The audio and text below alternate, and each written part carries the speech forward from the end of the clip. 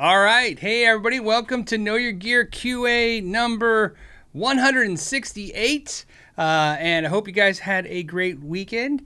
Uh, our week, I should say week. We're going to have a great weekend. We just had a great week. I feel like this week was a weekend in the fact that it was super, super short. I, I don't think I got to about half the things I was supposed to do this week. It's probably the least productive week I've had in a long time. And it feels like I threw all the horsepower and effort I could behind it and still got nowhere. But we're going to start the stream with a couple cool things. First, if you're new to this live show every Friday, just keep in mind if you're watching live and you want to ask a question or start a subject, put a question mark first. That lets me know you're talking to me. Also, uh, whatever, if you're watching the, uh, whenever you're watching the rebroadcast, uh, I time uh, stamp all the subjects and, and questions we talk about, so you can go to that. And of course, if you just want to listen to this, you can stream it as a podcast on iTunes and uh, iHeartRadio and SoundCloud and all that other stuff. So there you go. Try that. Now, to start with a couple things, this is uh, essentially my bir- birthday weekend, and I want to tell you what I got myself for my birthday. Uh, it's behind me. It just came. It literally just came now. So you you this is it. so what did I get? Well, I got a uh, limited edition Princeton 68 Princeton, my favorite amp. As you guys know, anybody watching the channel for a long time know I love my 68 Princeton with a 10-inch speaker. They did a limited rush, uh, limited, they did a limited edition FSR run, Fender Special run. I think of 40 of these. Now there's surf green ones out there, and they're basically the same thing. But this is, uh, it's essentially, I think they're calling it turquoise, right? It's not Daphne blue. It's I would say it's more seafoam green than surf green for sure, but it's even more turquoise than seafoam green. So what is it? It's just a 68 uh, Princeton, exactly like they sell every day of the week, but with a special uh, a special um, uh, I'll say seafoam green turquoise uh, uh, vinyl and a, uh, a beautiful wheat colored grill and a 12 inch speaker. This has the 12 and not the 10, and it's a greenback Celestion. So I'm very curious about it.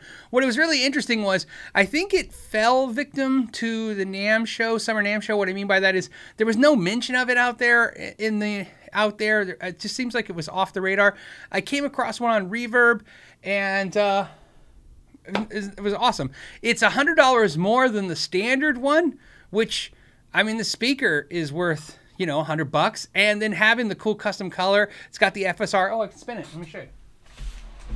Don't know if you'll see it in this video, but it's got the cool limited edition badge on the back. You can see I haven't done anything. There's the greenback Celestion. I'm sure it's the, as I look, it doesn't say proudly, so I'm going to say it's made in China, not the English one. But uh, don't care. Still a cool amp. I put it here so you guys can see it. I'm pretty stoked about it. I'm going to compare it to my uh, other Princeton and see what I think about it. It was really cool. And a uh, little side note, uh, I bought it from, I want to get this right. I want to say Eddie's Music. Please hold tight. Let me look. I have to go into my reverb uh, settings or reverb history under purchases. I was struggling with deciding if I was going to buy one for a little while, and then I did it and oh man, it is Eddie's. Eddie's music. I'm gonna try. I just want to get it right, guys. Hold on a second, please. Please keep in mind that I have to. I should have been prepared for this. I should have had it all ready to go, and I didn't. I'm not logged into my account. Let me go to it under purchases because I want to give them a shout out because they got it to me fast. I can't even find it. Oh, I know why. See, I followed my own advice. I didn't buy off reverb. Uh, so what happened was this uh, amp was on reverb. Uh, and I uh, did exactly what I told you guys to do last week, or said you could do. I shouldn't say I told you to do so, but I said you could do this. I went to uh, their website and I bought it straight from them. Uh, so it's Eddie's Music. Um, let me. Eh, that's the. That's the. I'll put a link. How about that? I'll just put a link to their website. Uh, a little cool little store. Bought it direct from them. Uh, they didn't have to pay any reverb fees. Not that that was the in- intent of the entire goal of that. But again, like I told you guys, you can save the mom and pop a little money if you buy it direct from them. And uh, also, uh, buying it direct, they didn't charge any shipping or sales tax. It just came straight, so it was a flat rate. I paid the flat uh, rate amount, so that was pretty cool too. Always nice to save a little money, especially on the shipping and stuff. Um, and uh, so, very excited about that. Uh, so, I thought I'd share that with you. Uh, hope this works out. I kind of bought it on a whim. Not a whim like I've been wanting one, but I've been a whim like uh, I'm not sure if it's going to work out the way I want. So I'm excited. Okay, uh, I have some pinned questions, and uh, let's get to those. So let's talk about some actual stuff you probably want to talk about instead of my amp that I'm excited about. Hold on, wait. Before we do that, I want to get to anyone talking about the amp, questions, thoughts. Somebody said something about speaker. What I thought of the speaker. Um, all right, we'll just get to the first questions. Now, I have some super chat questions. I will definitely get to them, but I want to get to the, some of the questions I pinned. As you guys know, I try to pin the first question or at least the first couple questions on the show. Since you guys come early and hang out before I'm here, I really appreciate you doing that. Uh, and the first one's from Derek, and he says, Phil, Hey Phil, love the channel. I have a PRS S2. S2 is for Stevensville too. It's the American-made PRS, but it's the uh, the lower price line. is one of my favorite of the lines. Uh, it says, uh, okay, so he's saying he's got a PRS S2 where the finish looks like it's bubbling, uh, nothing is flaked off. Um, but I have read stories on the web about this. How concerned should I be? Now, this is one of those moments where I'm not into sports, but maybe I can identify with someone when their team just uh, drops the ball, literally, right? Uh, and uh, like I have friends that are into sports, of course, and they're like, you know, they seem to get so much great joy from when the other team just really drops it, right, and messes up. Uh, this is one of those moments there. If you're not a PRS fan, you're gonna love this, uh, uh, hearing this. so you know, hey, you know, especially if you're a Gibson fan and you're sick of everyone bashing Gibson, there's a bash back for PRS for you. So what you're talking about is this. Let me show you. Funny enough, I, if I can get to it. Hold on. Excuse me, I have to pull one off the rack. This is one of my favorite guitars. This is my Paul Reed Smith with no truss rod as always uh, cover. Uh, PRS S2. This is. It looks like it's black. It's actually a trans black finish, but you can't see it. it's too dark. And on this one, I don't know if it'll come up, but I have exactly what you're talking about. Um, I can't. I don't think right there a little bit. You see that little white line right there, and then there's probably another one Hold on, let me find it. Right here. Oh, right there above my finger. See that milky little line right there above my finger? It's hard to see with this camera. Um, yes, so to answer your question, hold on, let me hang that back. To answer your question, yes, uh, PRS are known for the finish bubbling off or lifting off the, the guitar. Excuse me, I gotta drink water. I apologize. Um, Excuse me. Okay. Uh, so, yeah, it does happen. In fact, I, I, if you guys haven't heard, starting this year, all PRS guitars are now nitrocellulose lacquer. Uh, all of them, S2s, Core. I mean, not the SEs, but anything made in the Stevensville factory. Um, I don't know the reasoning behind why that is the case. Uh, I am doing a podcast with uh, Jack, the COO of PRS, next week, and I don't know when that'll be out to you guys, but I have questions, and we'll talk about that. I'm sure. I'm sure they'll come up with what the change is about. But yes, so in other words, what I'm telling you is there are known, even the cores, for known for bubbling off. Um, and so to answer your question, should you be concerned? Yeah, you have to have that fixed, buddy. Um, it might be under warranty, so you might want to reach out to PRS. Uh, they fix it. If I recall, uh, they fix it by basically injecting probably super glue in it and gluing it back against the body, as silly as that is. Um, but yeah, it has to be fixed. It will eventually keep lifting and flake off. Not all PRSs do it, but some do, and it's been a it's been an issue for a while now. And again, I'm not saying because that issue they're going to nitro lacquer. What I'm saying is they are going to nitro lacquer, so I don't think that problem is going to be an issue anymore. But it's something in the past that I've experienced um, on a core guitar two. Especially what's really what I've learned is mine is coming off because again, you can tell what happened was just the the dry climate I live in. The probably what happened was the neck shrank over time. I mean, this guitar I've had for five years or four years, four years, uh, and that just happened in the last probably six months. I'm sorry, guys, my throat is really going dry. mm, should have uh, should have had a lozenge. Uh, so, anyways, uh, what was I going to say? Um, back to the PRS issue. Uh, so you have to have it fixed because, like I said, it'll continue to flake off or bubble and get worse. So you can have it fixed. The good news is you can have it fixed, and it should be under warranty for the most part. But again, I can't guarantee that because I don't know if you bought it new, used when you had it. But either way, definitely get it addressed. All right, let's go to the next one. Hope that kind of covers it.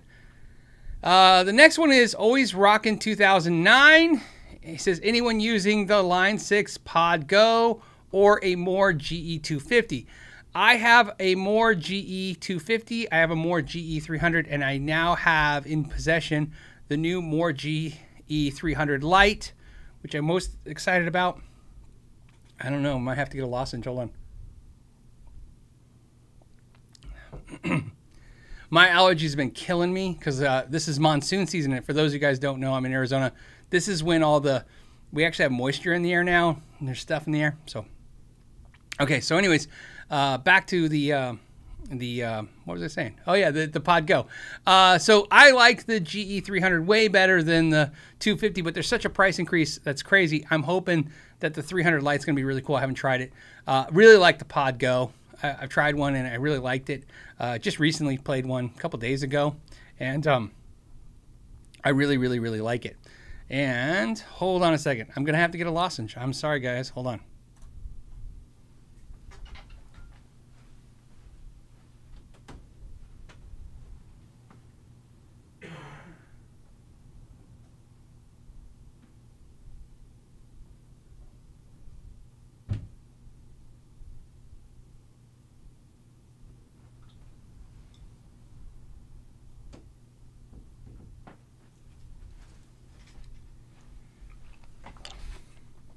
All right, I'm back, and I have some of these um, Ricolas.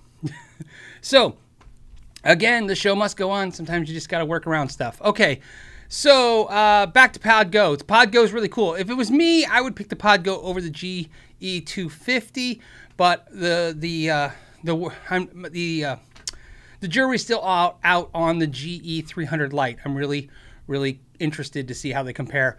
Maybe that'd be a cool video to compare those two. I really wanted to compare the GE300 Lite by Mooer against the Helix Stomp since they're almost in the price, same price point. Okay, next we have some super chats. Let's hit those and hope that I keep my voice. All right. Uh, next we have first, I should say first, first super chat of the day comes from,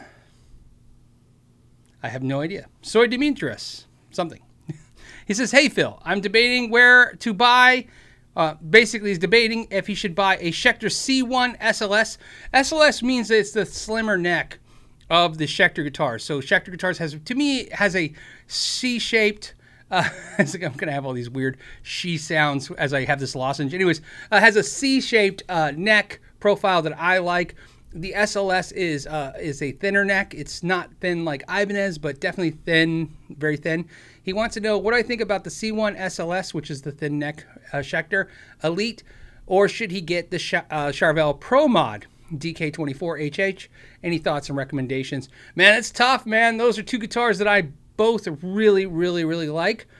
Um, to me, there's not a quality difference in those two guitars. Like I couldn't say like, oh yeah, definitely get this for the quality versus that. I think this what's great about this the two guitars you're picking. And and to me, if I was in a shop trying these two guitars out, it would just be which one do I prefer the sound of and how it plays a little better. I will tell you this. Um,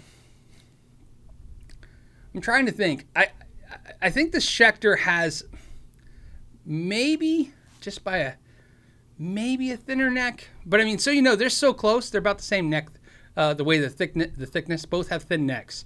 So I would say it, it depends on what, if you want to get something a little bit more modern versus a little something more traditional. The Char- Charvel would be more traditional, old school, and the uh, Schecter would be more modern.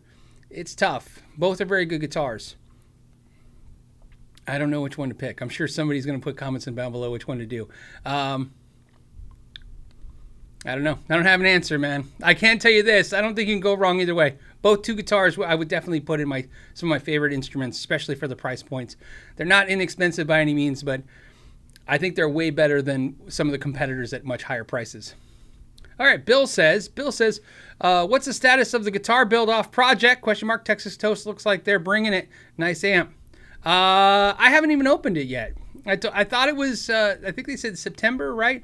Like I said, I don't plan to try. I'm, my my goal is not to put any more than two to three days into this as a project because again, it's it's uh you know, it's a charity build, which I love to do because obviously I want to want to put some uh, some money into Guitars for Vets uh, uh, uh pockets. Uh, but obviously, like I said, two to three days. I mean, that's tough. So it's basically like how I look at it is it's giving up one of my weekends. You know, so my weekends are my personal time. Giving up a weekend is something I, I don't have a problem obviously doing. But then it's like giving up another day of a work day. So um, and in my world, there's no such thing as vacation or sick days if I don't work, I don't get paid, and that's how it's been for almost two decades now. So, so uh, yeah, that's my plan. Uh, but like I said, I'll probably open it. Probably open the box. I don't know. I said maybe this week, but there was just no way. There was just no way. There, uh, in fact, there's no way next week either. Again, my schedule is almost entirely locked up next week. Um, so, uh, but definitely my plan is in August. to do it. Let's see what else. Uh, and then, like I said, I'll be releasing a video at the end when I'm done. So it's mine's just a one video where it'll be like a start to finish, showing you everything I did from when I unboxed it to when I finished it, showing you where I'm at with that. Um, let's see, Sparkle Tune official. Sparkle Tune official says, first time listener, happy birthday. Thank you, thank you very much. Do you think Fender will ever do a Strat Plus Deluxe and Ultra lace sensors? No, no. So the question was, what you know, do I do I do I do I think you're asking? Do I think? Do I think Fender will ever just put lace sensors in anything again? No, don't think so. As far as I know, there's no bad blood between those two companies. I don't know if there is or isn't. I've never heard anything. But um, no, I think Fender has decided, or did decide, I should say, at, at some point to put their uh, R&D in their pickup development. You have to understand a pickup is a very high margin product. Uh, it's it's one of the few like there's there's a couple couple things in our industry that literally demand high uh, margins. Uh, guitar cables, right? Which cables are universal. All cables have good margin for most industries, you know. But guitar cables, you know, are, are kind of cables. Uh, tuners have good margin. You know what I mean? You you know, obviously, I can't you know speak to exactly what a tuner, clip-on tuner makes, but I can imagine. Um, you know, it's a it's a thing that probably costs like a buck or a buck and a half to make, and eventually costs twenty bucks when it's done. There's just things like that. There's very few things that are like that in this industry, and um, guitar pickups are another thing that has a high margin when you look at it at material cost. Now, again, you could say R&D and development. Of course, one thing about R&D and development in this industry is there's always some kind of weird, like, man, we spent 10 years developing this. I'm like, yeah, well, NASA spent 10 years getting to the moon. So I don't, you know, I, I mean, I don't know how to equate that to a cost. You you made a Strat copy. I don't know. Uh, I don't know how much we're supposed to, you know, understand what's the entire development cost of this. So I'm not saying there's no R&D cost. There is, and it, it, it's real. But uh, what I'm saying is, uh, what I'm trying to get at is this: uh, is a lot cheaper to make your own pickups than use somebody else's pickups. If you're using anybody else's pickups, you have to pay uh, obviously their cost to make the pickup plus the margin they want to make. So you can really cut your margin down if you make your own pickups. What you're noticing, what I've noticed what I've noticed in the last 15 years, and I could say 20, but we'll say 15. In the last 15 years in guitar manufacturing, the thing that I think I've noticed the most is if your instrument is, uh, if you're trying to promote or sell, if you're trying to sell your instrument, you put name brand components on it. So, give an example of that is, you know, we see it all the time. There's an inexpensive guitar, it's a $300 guitar obviously there's skepticism when you're talking about inexpensive $100 $200 $300 guitars. And some of you guys i know when i say inexpensive you understand i'm always talking comparatively to the other guitars right? So uh, obviously if there's guitars that are $3000 $300 is on the on the lower end of the spectrum 3000 being on the higher spectrum and then there's something in the middle. My point to this whole thing is is that a lot of times to sell that guitar you put name brand components like pickups in it and that adds value to the sale. So if somebody goes man it's uh it's five hundred dollars and it comes with Seymour Duncan pickups. That that has value. However, to manufacturers that are selling guitars without that, in other words, they don't need you to go, hey, it's a Strat and it comes with Seymour Duncans. Fender doesn't need that. So Fender will just pretty much market their own pickups at this point, is what I've noticed. Uh, Gone are the days where you used to see a lot of aftermarket components on the Fender stuff. They just don't need it. You don't see uh, Gibson doing it either. Uh, you don't even see PRS doing it, and and you don't see Suhr doing it. They're going to develop their own pickups. Again, it's not that their pickups are not great. Some of them might actually be better than these aftermarket pickups. But what I'm saying is, there was a time, and and there still is a time where guitar manufacturers will use uh, brand name pickups and components to sell the guitar. And in Fender's case, they don't need to, right? No one's buying a Fender guitar because it has lace pickups in it or Seymour Duncan's or DiMarzio's. That's not what's driving the sale price of Fender. Not to the average consumer. Again, if you're like, hey, man, but I care, well, that's you. We're talking about, again, we're going to talk about the bulk of the consumers. So I don't think it's ever going to happen. I don't think Fender will ever incur that cost. Uh, unless, of course, it's some kind of anniversary thing. What I'd like to see is yeah, the Strat Plus come back as a reissue with lace sensors. Fender, if they were to do that, my guess would be uh, maybe they'll do it as a limited edition run. See, I got a feeling that if Fender did it, they would probably uh, either do it as a limited edition custom shop run or a limited edition run, or they might do it as a made in Mexico production again, so that it could be like a thousand dollars and have lace sensors, but it'd be made in Mexico, something like that. What I learned, and again, I apologize for my lozenge uh, what I learned talking to a lot of these companies is it's a need thing. If they need to sell something, they'll do it. If they don't, they just you know, kind of do what they're going to do anyways. And Fender is never a man. If we could just figure out how to sell more guitars next week, they sell guitars. Okay, I want to do a non super chat or a couple non super chats, see what you guys are talking about. Uh, there's basically almost 800 of us here. Um, Ah, Suspicious Scissors says, Does anyone here wash strings? I wash my strings. Um, I do. Uh, I don't have it here. I was going to reach over to it, and my toolbox is not there. It's downstairs. Um, now I'm using the uh, the Music Nomad string thing that I used when I did the demonstration, all the Music Nomad stuff. It's a string cleaner. Uh, I use that. I was using uh, the D'Addario one before that and uh, I used to use uh, some of the other string cleaners. Here's why I use the string cleaners, believe it or not. And a lot of you guys know you can just use, you know, all kinds of other stuff to clean strings, but I use string cleaners, and there's a reason why. I don't like uh, the black. Uh, I want to say soot. It's not soot. What is it? It's the micro. It's just all the metal flakes. So when you play strings, uh, sometimes it comes from the fretboard. Sometimes. So when you're playing your guitar and your fingers are all black and dirty. Sometimes that's from the rosewood fretboard, um, but a lot of times it's just from the strings. So I make sure when I put new strings on, the first thing I do is wipe them down. Now I don't clean my strings after that. It's always the first uh, initial thing. Uh, there's two things I don't do. Oh my God, this is gonna suck because uh, I know half you guys are gonna be like, "Great," and the other half are just gonna react wrong to this. But it's I, I you know I try to be upfront about everything. Uh, there's two things I do when it comes to strings. One, when I put on my strings, and I only use two brands of strings for the most part, I use uh, Stringjoy strings that I really like those guys, and I use their strings, and I use D'Addario, uh, and I like those guys, and I like those strings. If you guys use different strings, I, it's not because I don't like other strings. I just those are my two brands I like. Uh, I will wipe down those strings the first time I use them with a kind of string cleaner, and now I'm using, like I said, that Music Nomad stuff that I like. Um, however, when I get guitars new, I always change the strings and the reason is is because whether the guitar is imported or it's an American guitar, uh, usually they're going to use the cheapest strings they can. In fact, um, some of the biggest culprits that are actually Fender. And again, I'm a very pro Fender guy, right? I mean, I like Fender. So, uh, but being pro Fender doesn't mean I'm naive. So Fender, even though Fender has its own brand of strings that are made by D'Addario, so if you ever see Fender strings now in the market, they're made uh, by D'Addario. They don't actually put those on the American Strats and Tellys. So if you get a brand new uh, Fender guitar right now, American made, uh, the strings on there are not uh, those those D'Addario packs. I don't know what they are, um, but I but I basically just go ahead and assume they're going to use the cheapest strings. And I don't like to buy. I don't like to use really cheap strings that I don't know where they come from. And here's why. It's it's it's uh it's important because I got to tell you the reason, the psychological issue that happened to me.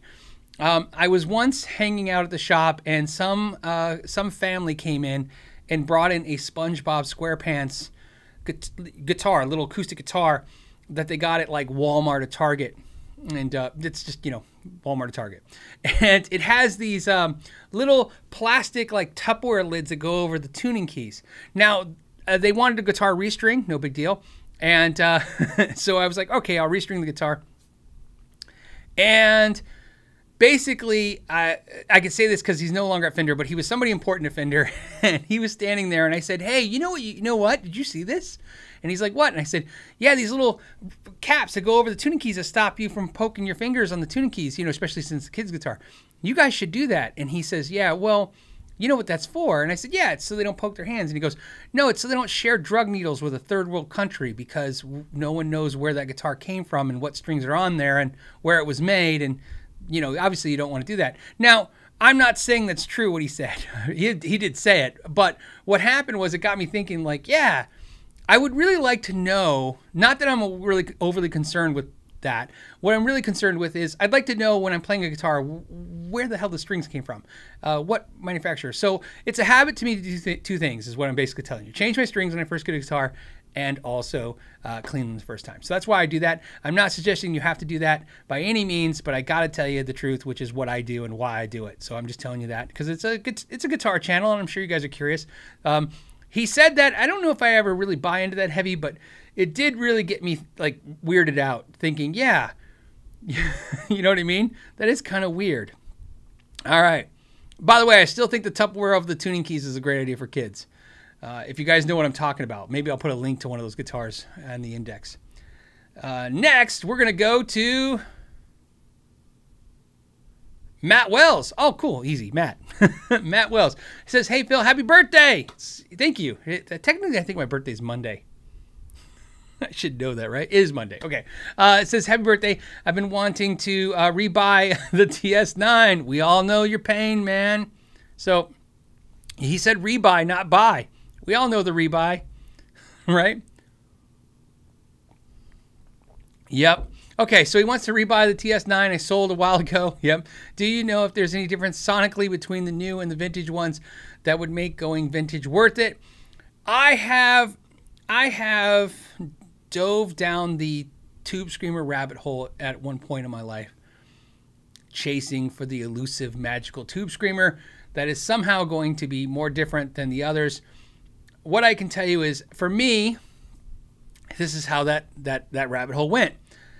The more I went and checked out more tube screamers, the more I realized how amazing the magical, higher priced magical ones were. Like, man, that's really good.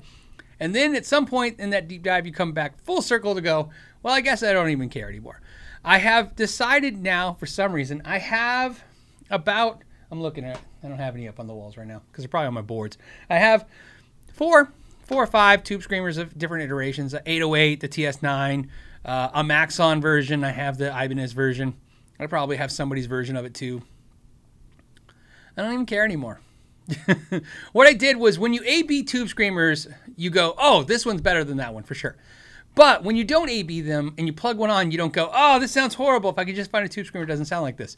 Uh, it's not that way. So what I'm basically saying is, I don't worry about it. One of the things that I think about all the time that's really funny is this: when it comes to tube screamers, it's kind of funny.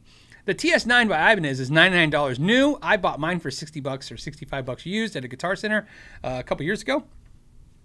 TS9 new is $99 and it's made in Japan, uh, which is you know, I don't know. It's good because it's where they used to make it. Uh, I had somebody come up to me just a couple months ago and saying, I got an actual tube screamer made in Japan. I'm like, they still make them in Japan. They go, no, they're made in China now. And I'm like, no, they're still made in Japan. Um, so that's good. Uh, if somebody in the comments is going to tell you that they have some magical uh, hand wired tube screamer that's awesome, they're not wrong. They're not wrong. Um, and to be honest, uh, see, Bill Spruce just mentioned the JHS Bonsai. I had talked about this many, many months ago, uh, and Bill, thank you for bringing that up. I had said this, and I should see. That's why sometimes you got to think. Hey, it's nice you guys have your nice to have you guys in this conversation. Uh, I had mentioned that if I didn't have all these tube screamers, I would buy a JHS bonsai. I, so there you go. That's my advice. I'd buy that pedal. That thing's perfect, right? Get that. I can tell you right now, I might do it. I just don't feel it really I don't really feel a compulsion to sell all my my my tube screamers to buy the JHS Bonsai. To me, it's more work than it's probably going to be worth. But uh, I, like I said, if I didn't have any tube screamers, I would definitely have the JHS Bonsai and call it a day. That's absolutely true. I, I, I know that for a fact. Um,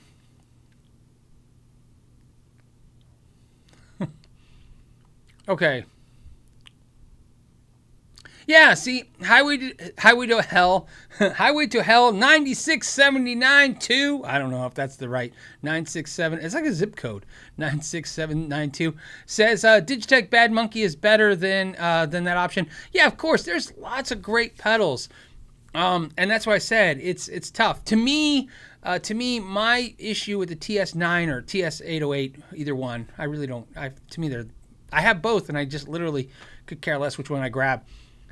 Uh, a lot of times when I use them, uh, it's transcended over the years from just me liking them because I do like them to literally just going, okay, this will the audience will relate when I do the video if I use this. You know what I mean? If I use some other weird brand thing I have, uh, they won't they won't understand where the sound what the sound is. They don't have a reference of it. So yeah, they're all good. They make so many. Like I said, all the Tube Screamer copies. I mean, here, here's the thing: there are cheap twenty dollar Tube Screamer copies that I think are fantastic. So, again, I'm going to continually apologize for my lozenge. But it worked. It did a good job. It did its job. All right. Um, music therapy says happy birthday. See, everybody's just going to say happy birthday. That's kind of cool. says uh, going to build you a custom. Wait, going to build you a custom Soundtrap design guitar hanger for your beer caster soon. Hope you like leather. Oh no. Oh no. Uh, never want to never want to end a sentence with I hope you like leather. I don't know why. I just think that's not the best way to end any sentence, but I do appreciate that and sounds really cool. I'm excited. That sounds cool. And I still like it even though it says hope you like leather. Could you imagine in any sentence you want this weekend for you guys watching the show wanting to have fun in any sentence this weekend with I hope you like leather. Hey, you want to go to Target? I hope you like leather. Thinking about getting a strat. I hope you like leather. I hope music therapy you're having fun with this because I'm having fun with it too. I love it, man. I appreciate it. I'm curious. I don't know what you're talking about, but I'm curious about what you're talking about. Uh, Grumpy Mike, hey Grumpy Mike says, and why not? Uh, your birthday, happy birthday to you. Thank you, buddy. I appreciate that. Usually it's kind of sucks. This birthday, I've been having a better birthday than normal birthdays because my wife's really into her birthday and I'm not into my birthday.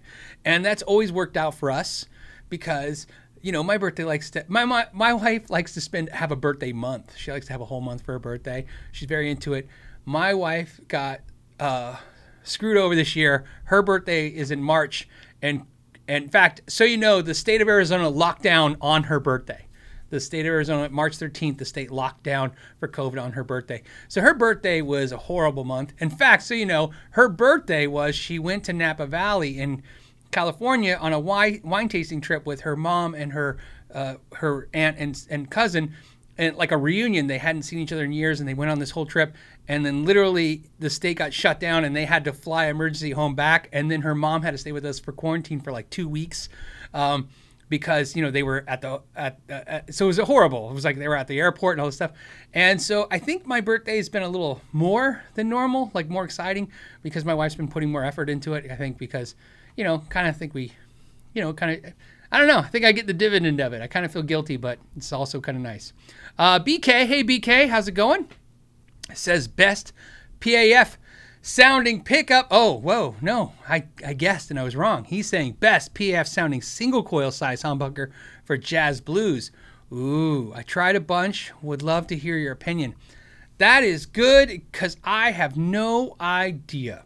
None. None. I have never really even thought to kind of put energy into that uh, in the idea of trying out different single coils humbuckers that are sound like PAFs.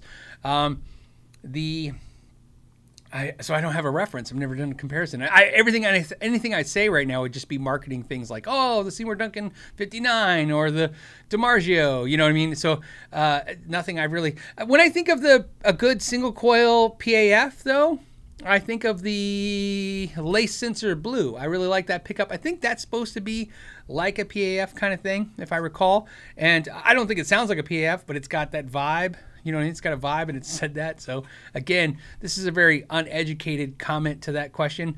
But I'm curious. You know, I have the the guitar, the Somnium guitar, the pickup, the neck pickup, uh, the video that was supposed to be next in the series, which was the best Tele neck pickup. Today, which by the way was supposed to be a week ago now. Today the pickups are supposed to show up. I mean, I'm at the mercy of COVID. Uh, I've been buying stuff and and just when stuff shows up, it shows up, man. I just don't know what to do. So if that pickup shows up today, I'll probably start filming on Monday.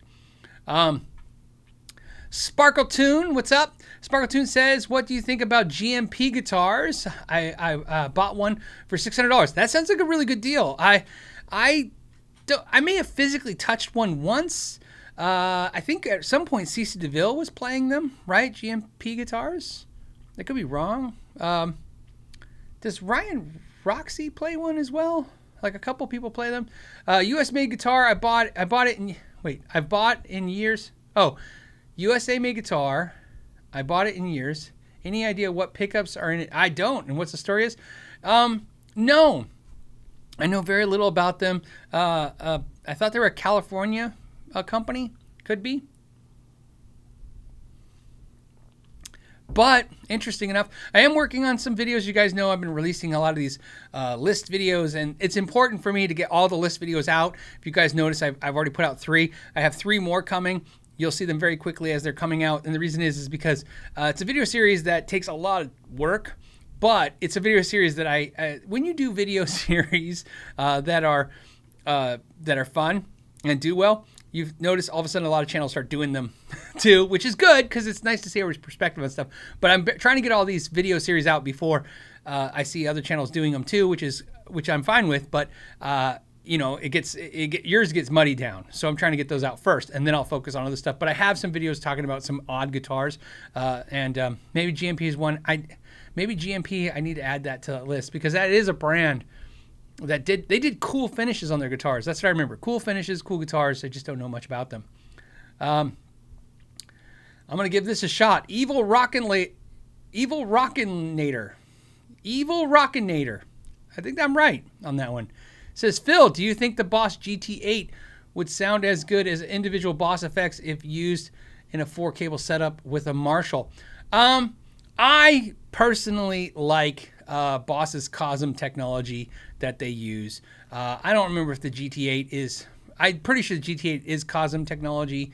Um, what I mean by that is Boss when they started doing the Cosm stuff, what they were doing, the way that boss explained it to me was they're copying their own stuff. They're copying their pedals. And the argument being like kind of like when Fender tries to make a multi-processor unit and say, hey, who can copy us better than us? It's kind of that same logic. Um, yeah, that would make sense. I would imagine that, yeah, Boss is going to do it better than, than anyone else. Um, and let's be clear, a lot of people aren't going to copy Boss because although Boss is a huge entity, it's one of the biggest pedal makers in the world, if not the biggest. We all love him. We all have him.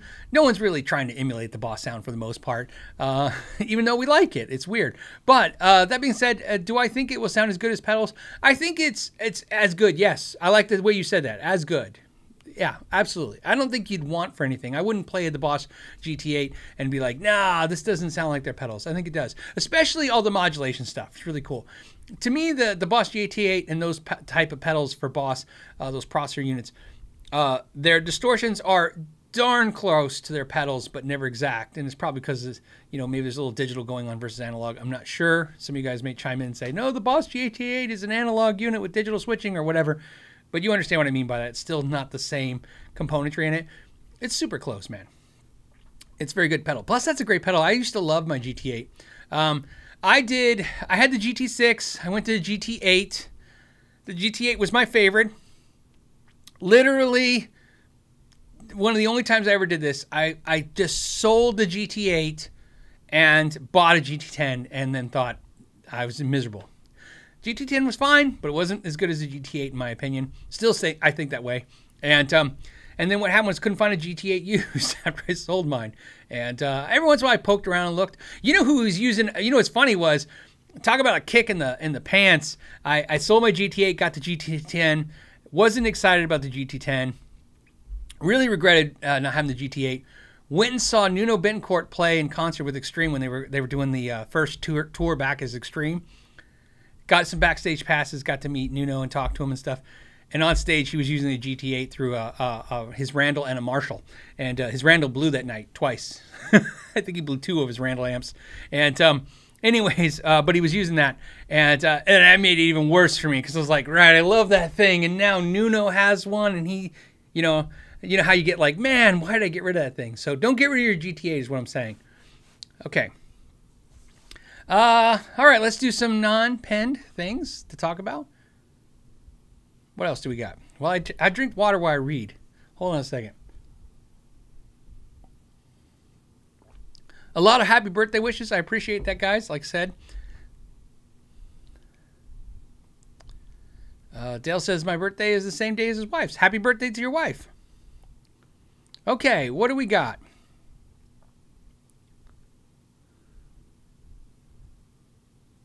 Oh, uh, Superjet uh, 113, great question. It says, Hey, Phil, what is the worst chord you hate to finger on your guitar? I don't like playing the C chord.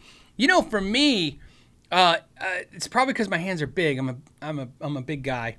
Um, I'm six foot. I mean, it's you know not huge, but big guy. Uh, and my paws, these big paws. Uh, I, I tell everybody this is my issue with guitars. When people say, "Oh, I have small hands, it's so hard on guitar," I'm like, "No, man." There, there's, there's two. It sucks both ways. If your fingers are really long, that's actually problematic too. Um, because although Paul Gilbert's ginormous fingers can shred and he can do these spans on his fretboard that are great, but if you watch him when he makes chords, I mean, he's got to literally take his fingers, try to put this in camera, bring your fingers over and then like hook them down and bring them down like this versus some people are straight out or straight like this when they touch. So there's always problems. Me, because of my hand size, Bar chords were always great. Any kind of, if you notice, I'll do a lot of bar, bar type chord uh, chords.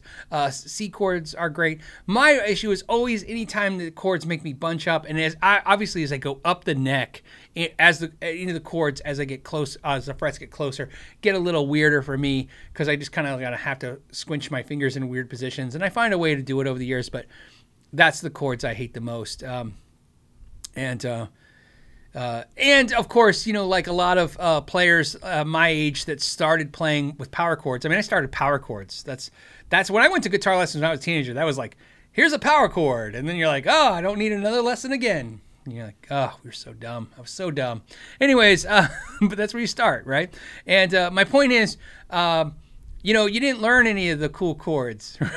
you learned you learned your cowboy chords, your power chords your pentatonics, right? Uh, you were either going to be a shredder. That's how it was when I took lessons. It was like you're going to be a shredder or, or you weren't going to be a shredder. I wasn't going to be a shredder.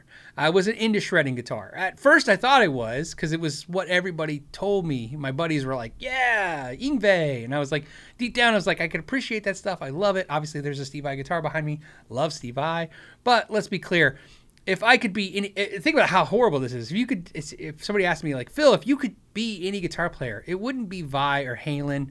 Um, it would be some goofy punk rock guy because I just like that. I just like the the whimsical kind of just playing power chords or playing music and doing that thing uh, and having fun. So uh, back to that. Uh, so the, a lot of the weird seventh chords, the ninth chords, uh, that stuff was always weird. Uh, for, you know, right for me at first because I didn't learn that until about five, ten years after I start playing guitar is when you start like somebody's like, "Hey, these are different chords too," and you're like, "Oh, oh, okay." Especially for me, I started on uh, I started out very, very, very easily on guitar. I started very shortly, I should say, on guitar. Um, I, I ended up being a bass player. Like, what's the the best saying ever? Every bass player is a failed guitar player. That's me. Uh, literally, I played guitar and I was playing in band, doing the guitar thing, and then one day a band needed a bass player, and uh, you know, and I like the band. And if you wanted to be in the band, they need a bass player. So I took and sold my um. No, actually, what I did was a smart. I borrowed a bass and I used. I had a PA, so I had two one uh, two 15 inch speakers and a mixing board uh, and a power amp. And I brought it to their band rehearsal space and I plugged a bass into that. I, uh, a bass into the PA in my little PA, which they thought was weird. And then I played bass and we rocked out at least I thought we rocked out. And then they said, You're hired. And I said, Cool. And then I went back to my house. I got my guitar amp and my guitar, my, my PA system, and that crap. Uh, well, I had a crappy bass, so I don't think I borrowed it. I think I had a crappy little bass. And uh, drove down to a music store and traded it all in for a bass and a bass amp. And that's how I become a bass player. That's how easy that was. All right. So basically, what I'm trying to say is I started playing guitar and then I immediately went to bass and then chords just wasn't a thing forever. Uh,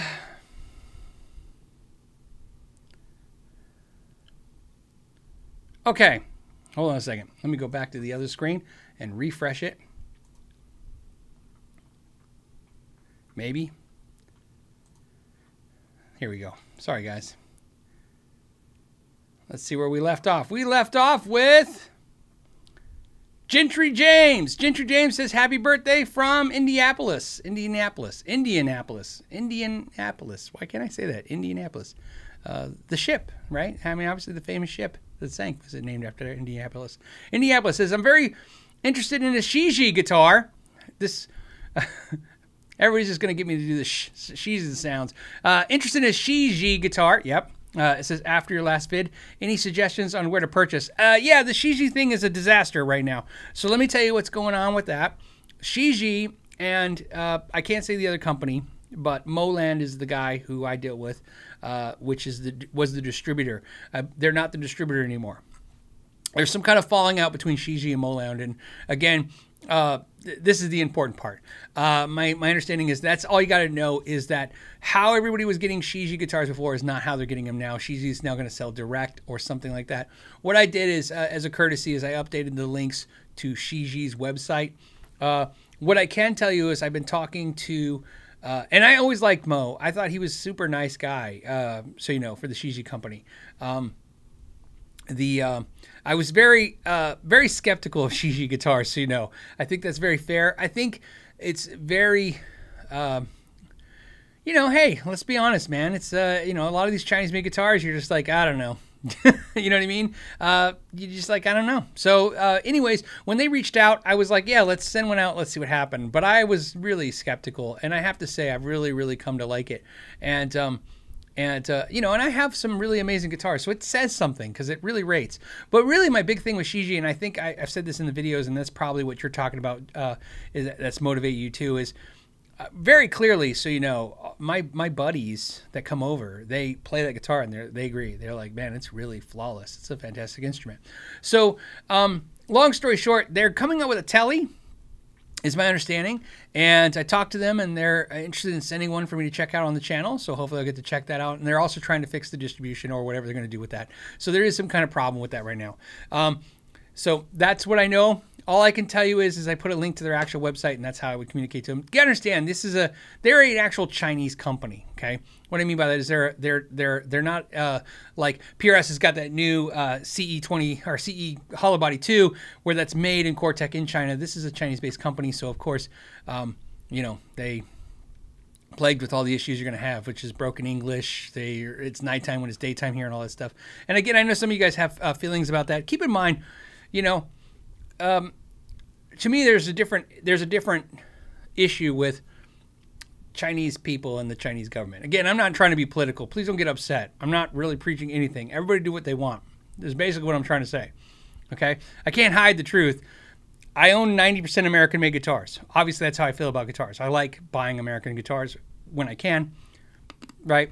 I'm American. I, it has nothing to do with being American. Whatever your nationality is, I hope you have national pride. I hope you feel good about your country and you, you want your country to do well. That being said, I know people get seem to get real sensitive about this issue, but here's the deal: if you don't like Chinese guitars, don't buy them. That'll fix the problem. Don't. It's easy. Um, but back to the Shiji thing. Uh, yeah, you just got to contact them directly or wait. See, I know it's really frustrating right now because a lot of you guys have been asking about that. How do you get a hold of those guitars? So uh, Armando, hey Armando, what's up? Said just saying hi. I'll watch tomorrow. All right, uh, enjoy enjoy tomorrow. This is tomorrow, Armando. Now when I'm talking, that looks like it's now. It was actually yesterday. Okay, the Apple Smasher. Your thoughts on used PRS Vela S2 versus Mira S2 and Mira Core and why? Okay, great, great, good questions. Um, well, I'm partial. I like the Mira Core. I have two of them. Uh, can you see one? Behind me? Nope, it's out of frame. It's over. It's right on the other side of the guitar. Uh, so I have two Mira Core guitars. What I like about the cores are I have the uh, pa- pattern uh, regular and a pattern thin or wide thin, whatever. I have both necks on both Miras. Uh, I like that they're 24 frets on those guitars. I like the way they feel. Uh, feel. But more importantly, I had them before S2s were in, even out. So I couldn't say I would pick them over an S2. I'm just saying I picked them before there was S2s, and there's no reason for me to sell these and get S2s. So um, I like the Mira. It's my thing. It's uh, my favorite guitar. Absolutely. There's something about the shape. It's like an SG. I just like the way it feels. It feels really close to me. I really like it. It's thin, plays good. It's got a nice tone to it. So my thoughts is uh, I like the Mira, so I'm partial. I like the cores. If it was me and I was going to buy one right now, uh, nothing wrong with S2s, but I would find a used core because you can find deals on them. They're lacquer, which is nice, you know, because they got beat up and they look cool. Mine's all beat up because it's mine looks relic for real because it's relic for real. Um, and uh, you can get one for a song. I, I, you can find them for under a thousand bucks for an American-made PRS. Use is really good deal for the Miras. And to be honest with you, whenever I'm, I and I mean this, whenever I'm not talking about them, it's usually a good time to, to do it. Every time I seem to bring them up in any length uh, when I go to look, maybe uh, maybe I need another backup when I go, and the prices shoot up to like twelve, fourteen hundred dollars, and I think it's just because people start buying them because it's not because of me per se. It's just obviously it's a guitar that's not talked about a lot, so we're giving it some focus. The Vela is a great guitar. I like that guitar as well. Uh, different though. To me, it's a different animal, so it's a different instrument. But that's what I would pick. I'd pick the Mira. I don't own a Vela, but that's another instrument from PRS I'd like because it's very. I'm very into the non-PRS guitars. I like Pierce's.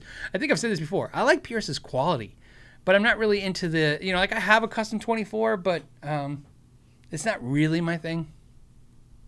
I mean, I like it a lot, but it's not my thing. I like the Mira more. I like things more stripped down, less, less exotic looking.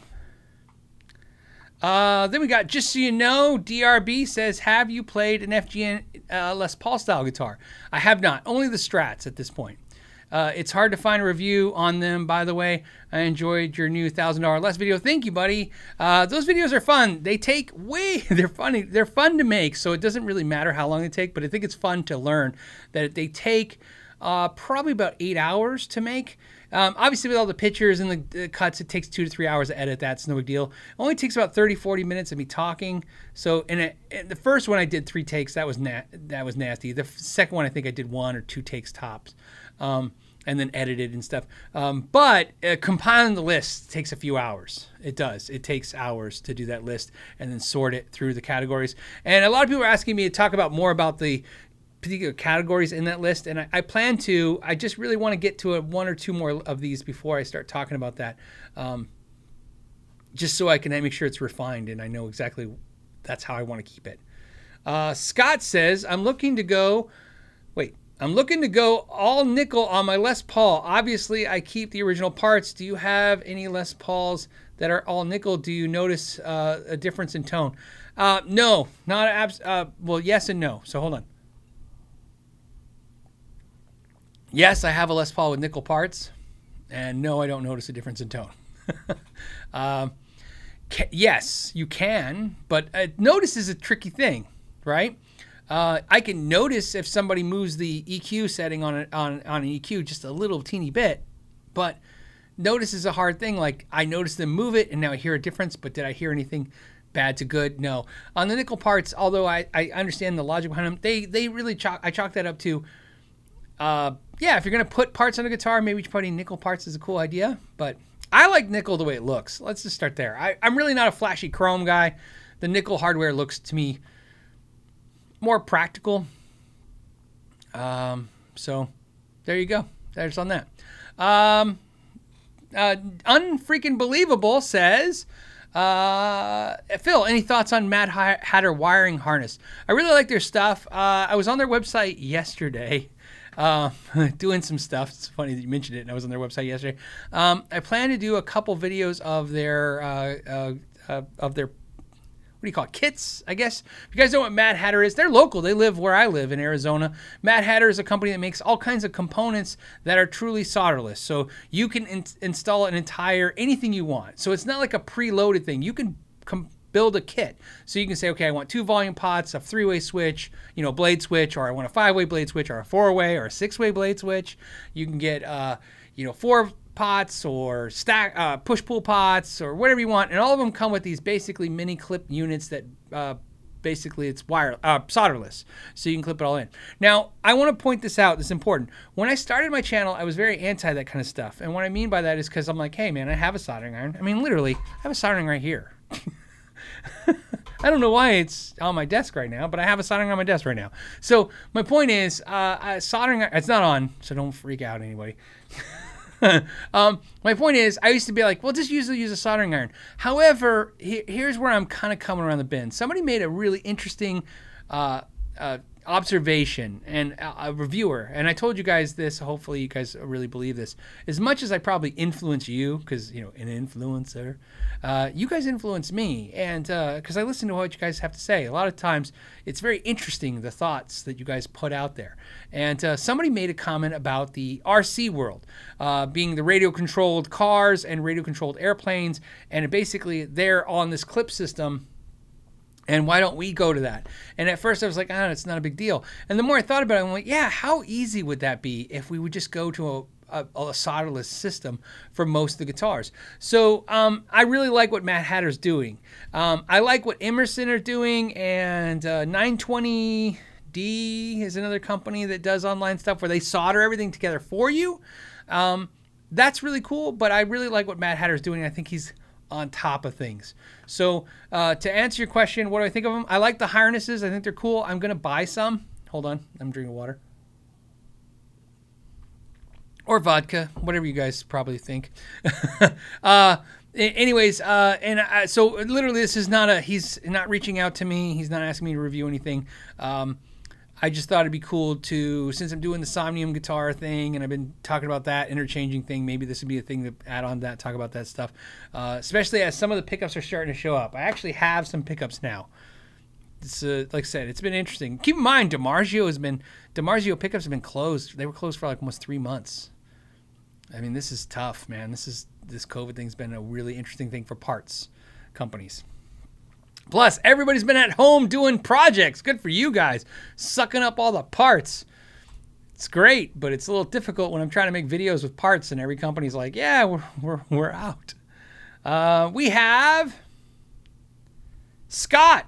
He's how do I say Scott? Scott. Just kidding. Hey Scott says uh, I'm looking to. Oh, he already read Scott. See, now go back to Matt. Matt says Matt says I'm suspicious of guitar companies claim caramelized maple necks instead of roasted. You know, it's funny. I have a good friend that literally just sent me that text a couple weeks ago, and uh, he was really he seemed really um, irritated uh, irritated with as well. He says coloring uh, them instead of roasting them. Thoughts?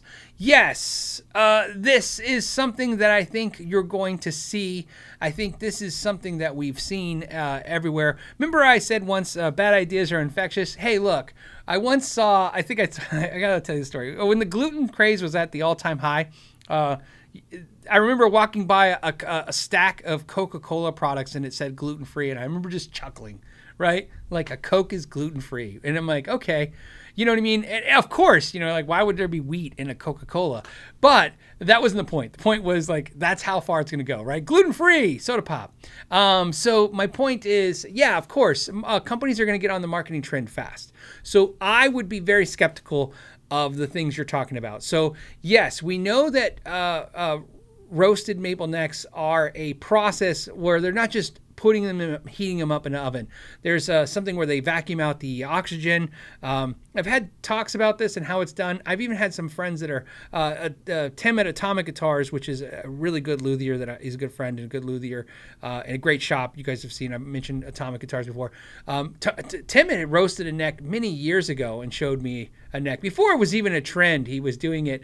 Uh, not I'm not saying he was doing it first, but he was doing it before the main manufacturers had done a trend, and he was discussing the difficulties of doing it. What I can tell you, and I told you guys that I think I told you guys this. I've bought, I've owned now a bunch of guitars. I bought a bunch of guitars that have these roasted maple necks, and they're not all the same. That is very true. There is something about them that is different that you can tell how different companies are doing it. It's different.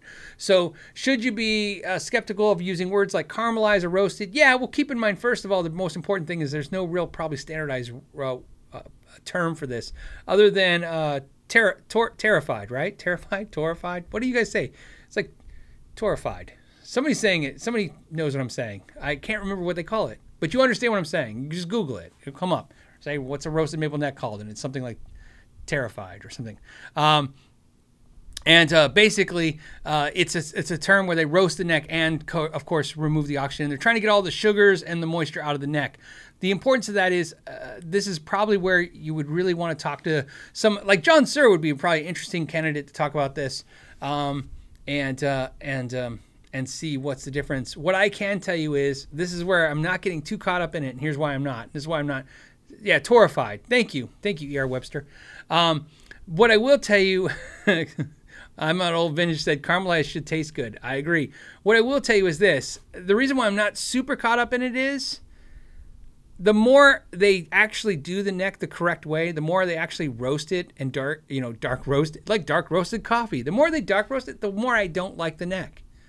Um, my least favorite roasted neck is my really super crazy expensive uh, Ibanez AZ, uh, the one that has the super roasting. I hate that neck. It, it, it it's a great quality neck. It's really stable, but it's so doesn't feel or it doesn't sound and feel right to me. So I, I ended up liking the lesser expensive Indonesian one more. Um, and that's what I'm basically getting at. The guitars that don't seem to roast them as much, I tend to like them more.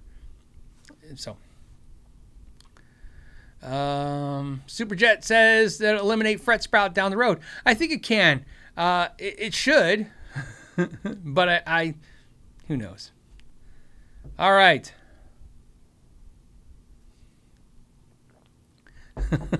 okay, we get on the weirdest subjects. Roasted. You guys now are talking about roasted barbecues. Uh, Matt Harrison says, "Do they feel dead?" You know, interesting way you say that because that's something I would kind of explain it to. Yes, it's almost like there's no sustain in the neck anymore. Does it make sense? The notes are snappy. Remember when I talk about, uh, which is interesting because I've talked about carbon fiber necks, eh, but carbon fiber necks, they always had really infinite sustain. You hit a note and it would hang around forever. However, it just wouldn't feel the same. Or, you know, I mean, feel like sonically, it didn't feel the same. And that's what I get when they really go crazy with these, uh, these roasted necks. Um, uh, uh, Wayne says, "Who had the best roasted terif- uh, torrefied maple? I'm probably saying it torrefied, right? Torrefied maple neck that you played." Oh, that's a great question. Who had the the Shijie guy? And that's that's why I said it sucks. They, it's a guitar, dude. Shijie, look, that's a guitar that just it's like a lot of brands on YouTube. You'd never heard of it. All of a sudden, YouTubers talking about it. It's all a YouTuber hype thing. And what I mean by that is that's I understand the feeling of that, but I mean I really like the guitar. It's really it's really really good guitar. Um, so you so you know. Um, so that's probably my favorite of the roasted maple necks. Let me look around.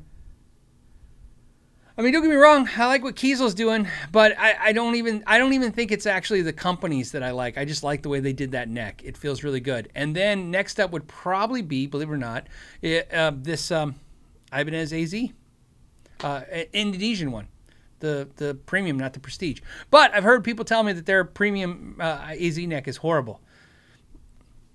And I think I told you this. Uh, that particular I- Ibanez, that one right here, the one I'm pointing with my thumb, uh, which is my I call it the candy corn, right? It's like tequila sunrise. That was sent to me by Ibanez. Okay. This is probably important to mention, and uh, it is important for me to mention. Is I have four Ibanez AZs. I have no idea why. It's the dumbest thing ever. But I have four. I bought three. One I bought used, okay, uh, on Reverb. Two I bought uh, new, uh, and they uh, from Ibanez, but I bought them. Okay, so I bought them. And uh, one Ibanez sent me to do a video, and then they left it behind. They said I could keep it. Um, and ironically, the best one is the one Ibanez sent me by far. And so, what I will tell you is, I don't know if they just like maybe they went nuts and made sure they got a good review. I, I don't know because I've I've I've had people tell me theirs are okay, but my, I mean this thing is flawless. Like I play it and I love it. It plays perfect. Everything about it is like I love. So. Uh, there you go. And then the next runner up is the one I bought used.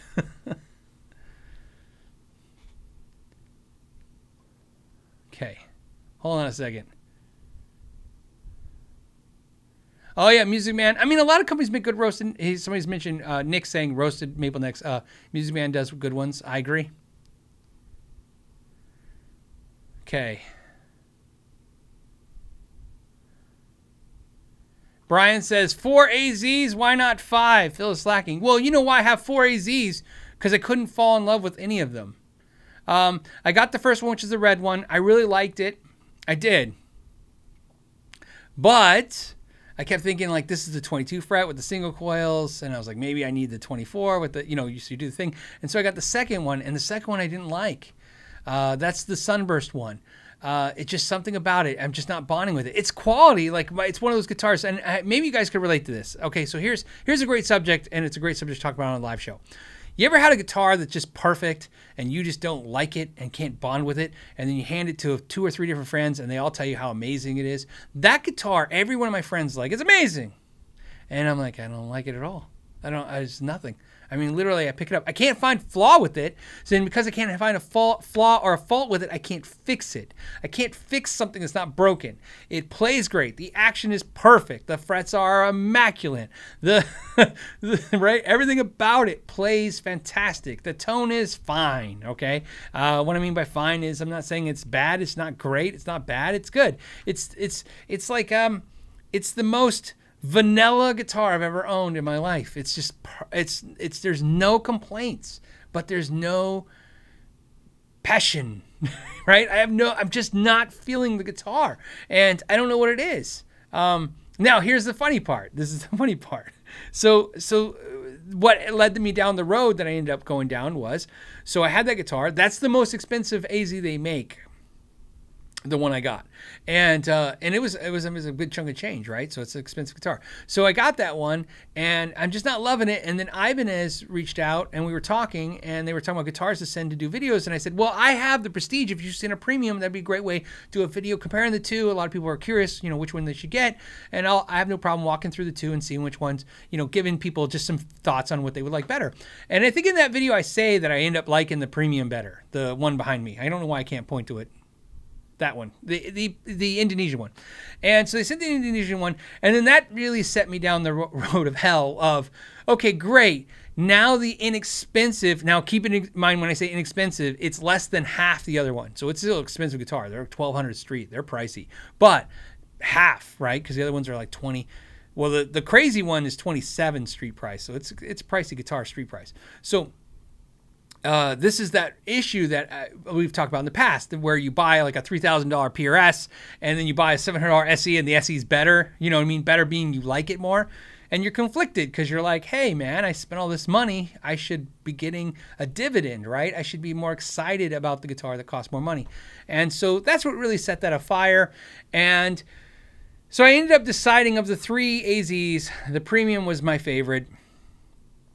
And uh, so I go, well, maybe I'll sell the other two AZs. And then I thought, oh, I don't know, I kind of kind of don't like that. So then I found a used one. I got the used one. That one was a really good deal. That was a great opportunity. It was definitely I bought the AZ. The one I bought, uh, the Seafoam Green, I just bought it because what I paid for it, I could flip it for that in a minute. Uh, in a minute, you guys, anyone would buy it off me for what I paid for it. Uh, and uh, I go, okay, so it's just I'll try it, and I liked it better than the other two AZs, the first two, uh, and I still don't like it as much as the premium that I have. So so that's a that's that. Hopefully, you guys maybe that helps you guys because I find sometimes when I talk about stuff like that, a lot of you guys really chime in with either uh, you know maybe you feel good because you realize that. I must have it way worse than you and my sickness in my head of guitar guitars, and you're like, oh, good, I'm not as bad off as that crazy guy. But a lot of you are like, oh yeah, I've had that problem, and now it's cool to hear somebody say that. Yeah, so that's what happened. So if I could do it all back again, obviously I wouldn't have bought any of the AZs, and if Ibanez would have sent me that, I would have just kept that one and been called a day. So that's that's it. Out of the four, I, and, and so you know, long term, uh, well, not even long term. I'm only going to keep maximum of two of the AZs of the four, and maybe just the one. I have no intention to keep the uh, the other two, um, which on a side note, uh, and then it will go next subject. Just share with you one of the uh, issues, or two of the issues that I'm conflicted with is the two AZs I bought. One I bought and I played at the Rockin' 1000, so I played in front of 26,000 people that night. You know, we played the, the what 15 songs or 18 songs in front of 26,000 people, and it was a great night. And I played that guitar the whole night, so kind of like feels like oh I should keep that guitar because I did that event with it. But I'm never gonna play the guitar. It's been in its case, and as you guys know, I don't usually do that. It's been in its case ever since. Uh, and the other guitar uh, was great because I got to meet Polyphia and. Um, and do a video with them, and they're really cool guys, and I really liked uh, that experience. And that guitar was a, a, memento of that. So these two guitars have memories with me, and that's another problem you guys will understand. Sometimes your guitars have memories, you know what I mean? Cool, cool moments, but you get the idea. Uh, Uh, Dan Ray says, I have the Seafoam Premium AZ, and it's the best guitar I've ever played. Yeah, played two Suhrs in my life. Yeah, I, I remember when I did this. I Think about this. You know I like the Premium because here's what's funny. I did the video where I compare the Premium to the Charvel, which is right here, the Made Mexico Charvel uh, DK24. And I think I said in that video uh, which was where I still feel, is the DK24, in my opinion, was a better quality guitar. Had better components, better features. I thought the pickups were better, uh, just better. But I like the AZ more. That AZ, uh, I would, I would, I like that guitar a lot. Oh, excuse me. I got a hiccup there. Uh, so I like that guitar a lot more.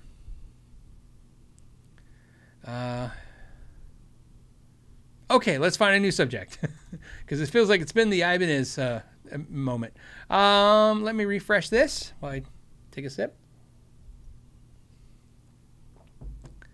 Maybe. And try to, I'm going to try to butcher some more sign ons and names. Okay, what do we got? We have.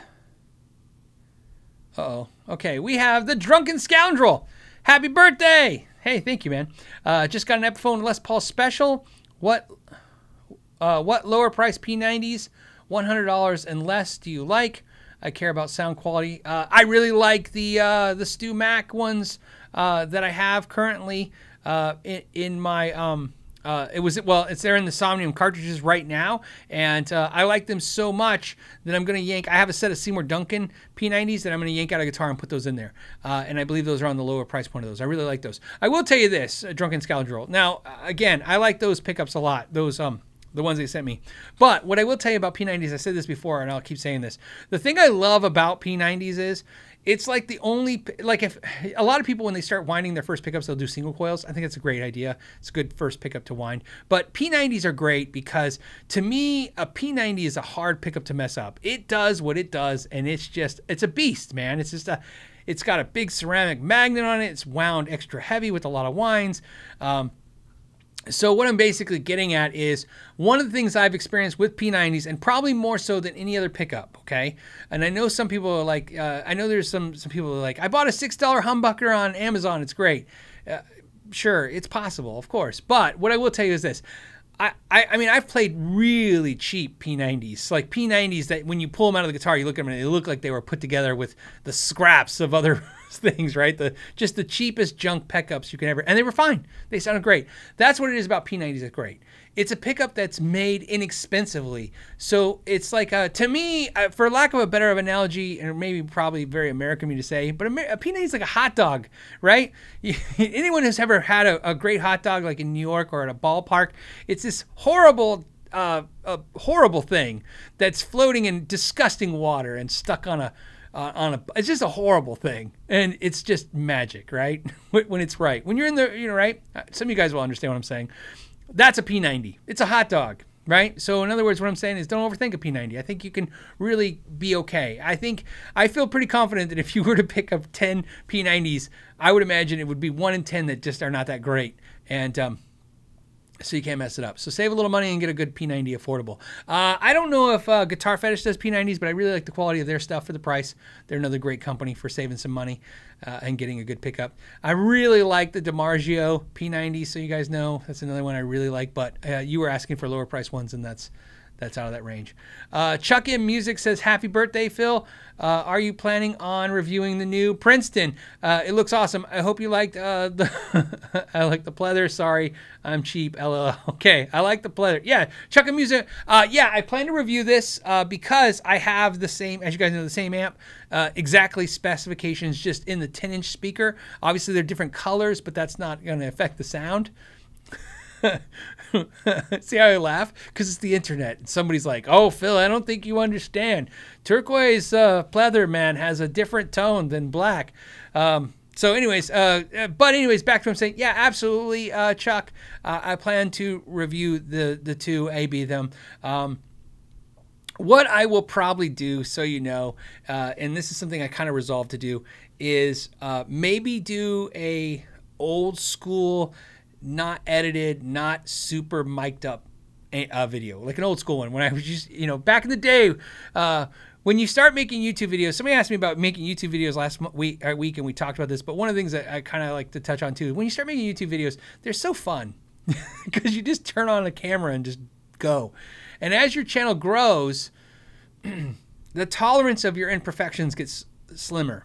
Uh, which is, you know, at first everybody gets to the pass, a free pass, right? You make a video and you're shaky camera and your audio is not that great. No one really cares. As you get bigger and grow subscribers, they get a little bit less tolerant of that crap, right? Uh, so you got to really work on it, and it's really tough. So what I was saying, thinking was maybe I mean I'm not talking about doing a really crappy video, I'm just saying maybe more of a chill video, uh, and get it out and just put it out because, like I said, I think you're curious, and I need to do it pretty fast because there's not a lot of these, but I'm really curious because this amp is also available in Seafoam, or sorry, Surf Green, and uh, it's the same price, and there seems to be a bunch of those out there, so it's really cool. Uh, Reggie, hey, what's up, Reggie? Just had happy birthday. Happy birthday, man. Uh, I hope you're doing well. I, am surprised you're not working on a project. Uh, Reggie, I think, is consistently always working on a project guitar, which is he's a he's a motivated guy, which is cool. Um, uh, Shane uh, says, uh, "Why do Fender amps have two inputs? Oh, is one for humbuckers? Uh, which one is for what? Great question. Hold on a second. Sorry, I gotta not only drink water, but literally I need another lozenge. Excuse me. All right. Uh, to answer your question, uh, the answer is yes to your question. So on your uh, Fender amps, you're going to have two inputs, one and two. The one will just be a normal input uh, uh, jack. Okay. So you'll plug in, you're just going to go right into the amp, no problem. The second one usually has some kind of capacitor wired in it. It usually reduces the input uh, by about 5 or 10 decibels. Again, different amps have different specifications. I'm sure if you look up on Google right now or Google Fender amps on the manual, it'll probably tell you. This is something that obviously I don't repair amps for a living, so it's not something I need to commit to memory. What I just need to know is what it does. So that's what's really important. And any, any guys put comments in there, just don't forget. It's more important what it does than what it is. What does it do? Well, this one is really designed for two reasons, and here are the two reasons.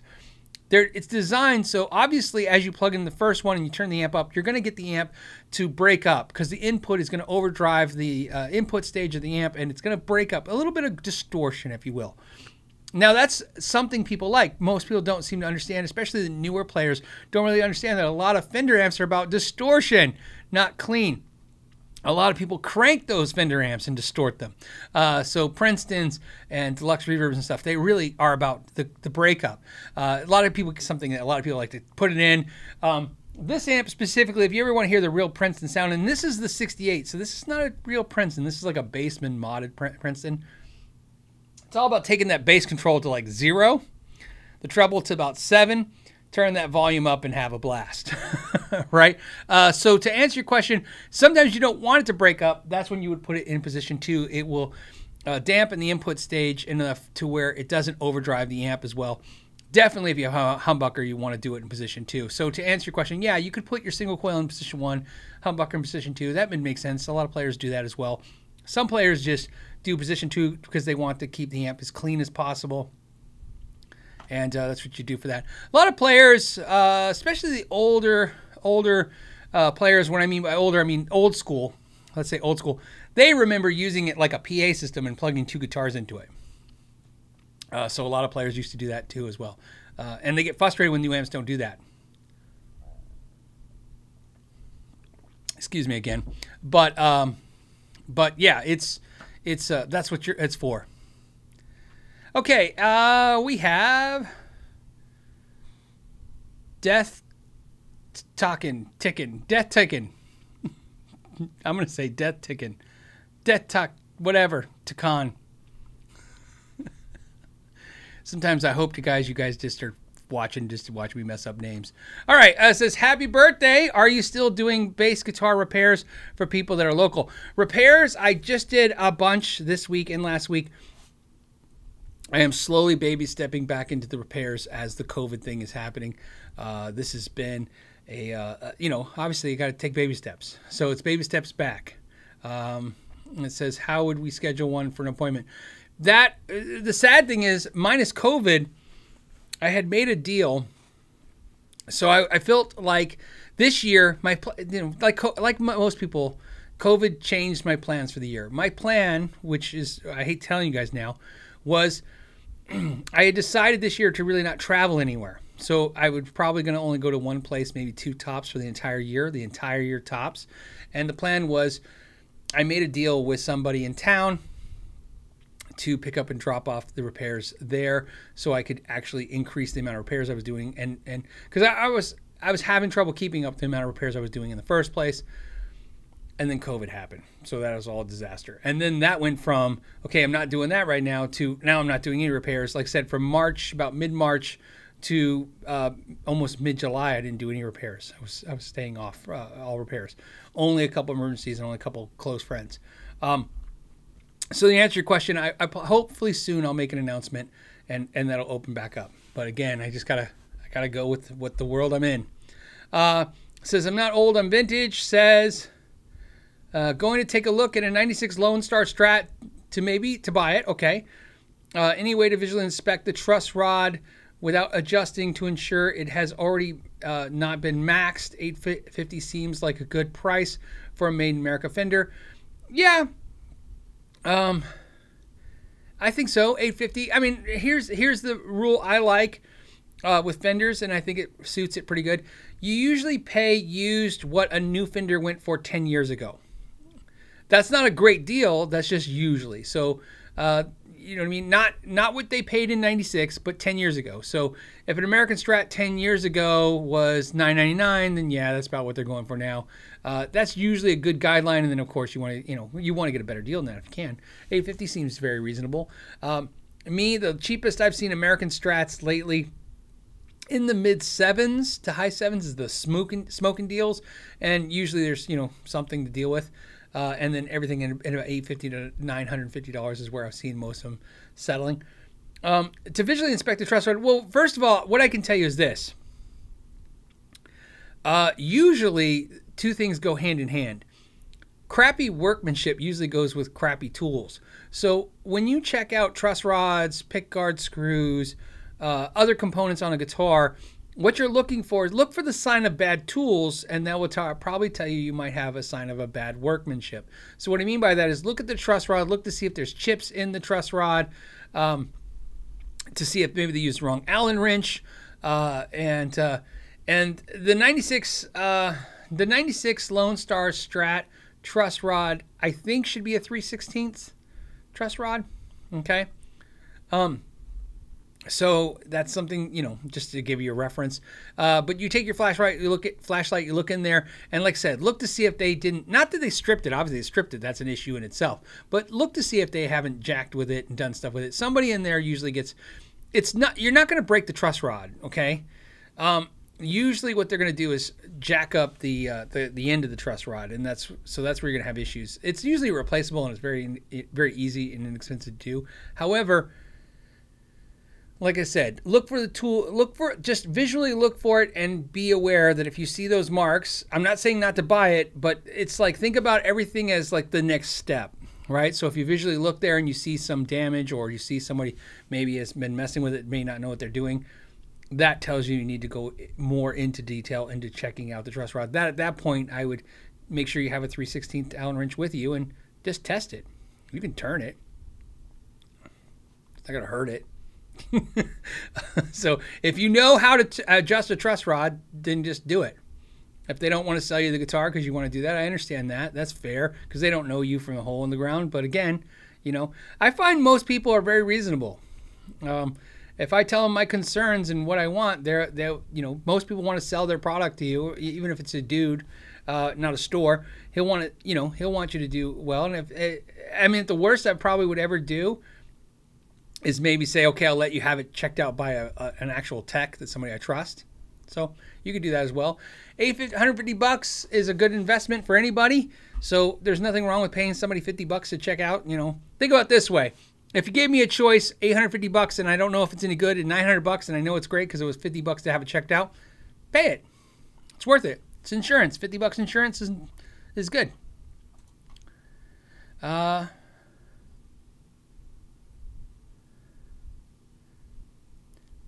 Uh, okay, and he uh, uh, and he's also now following up saying, "Thank you, Phil.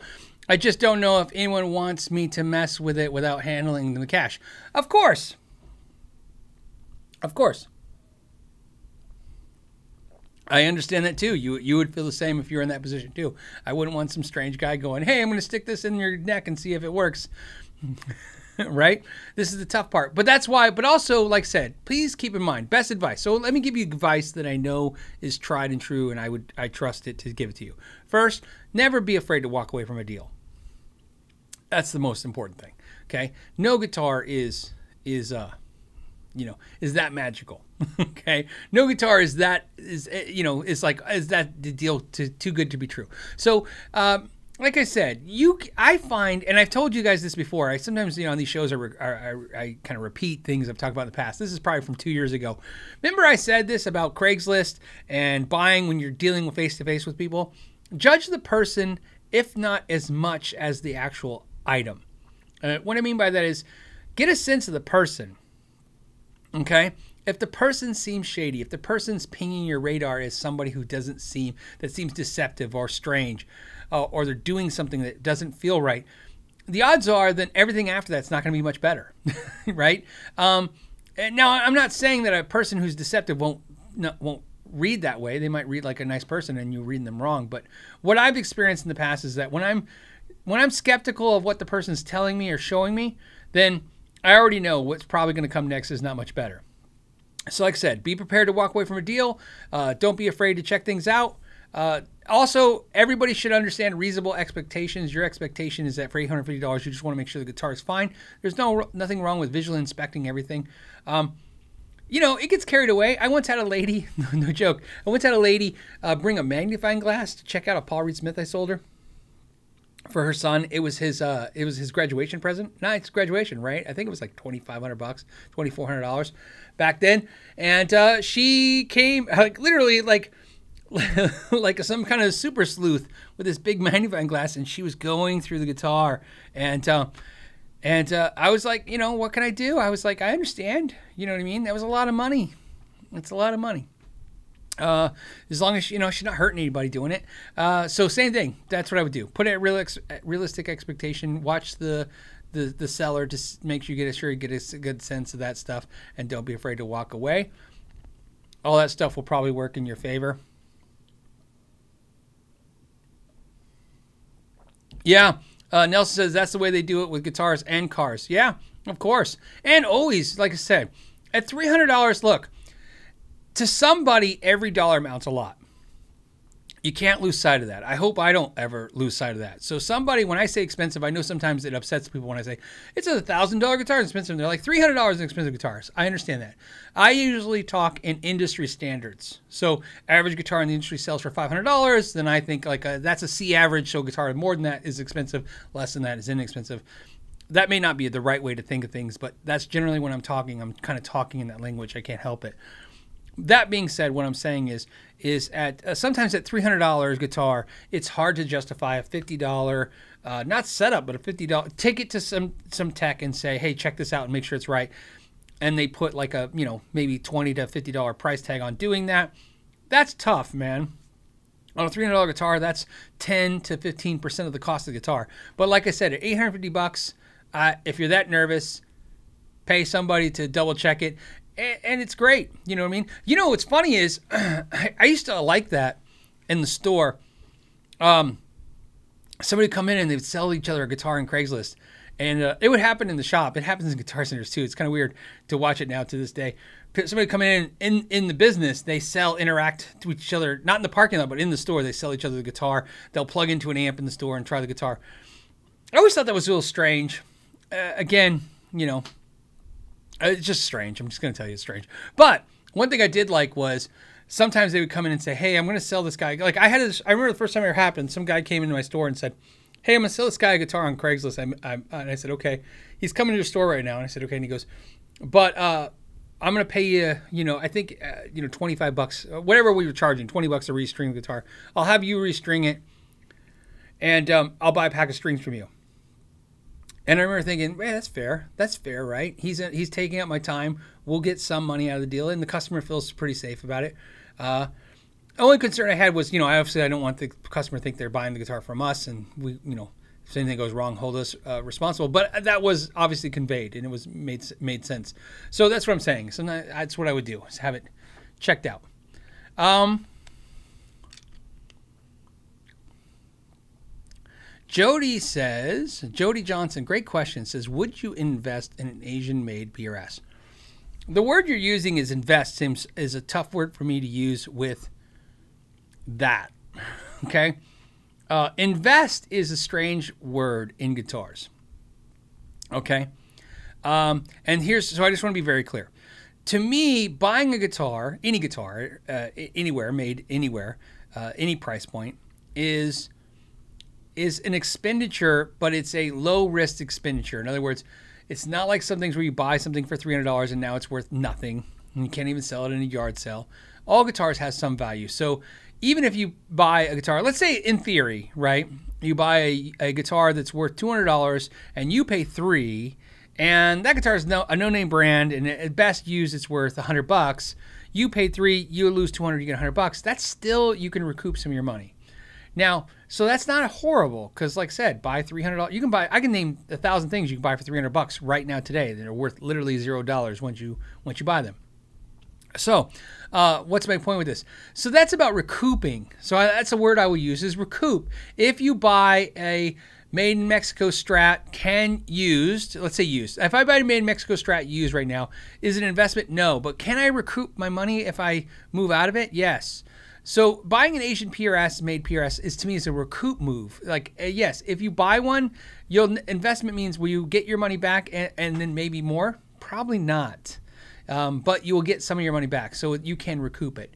Um, there's always exceptions, but generally no. So I wouldn't say that. That's why usually people who are uh, investing uh, in guitars are buying guitars that uh, perceivably will have more value in the future, and that's something that is usually substantiated by the fact that the years behind you, those guitars years ago, now are worth more than what they were then. So, uh, investing is a tough thing. But what I will tell you is this: if you to be to be uh, to to do this in the guitar business, to make money in the guitar business, you really have to educate yourself a, a lot because the rules change all the time. It's always a low margin.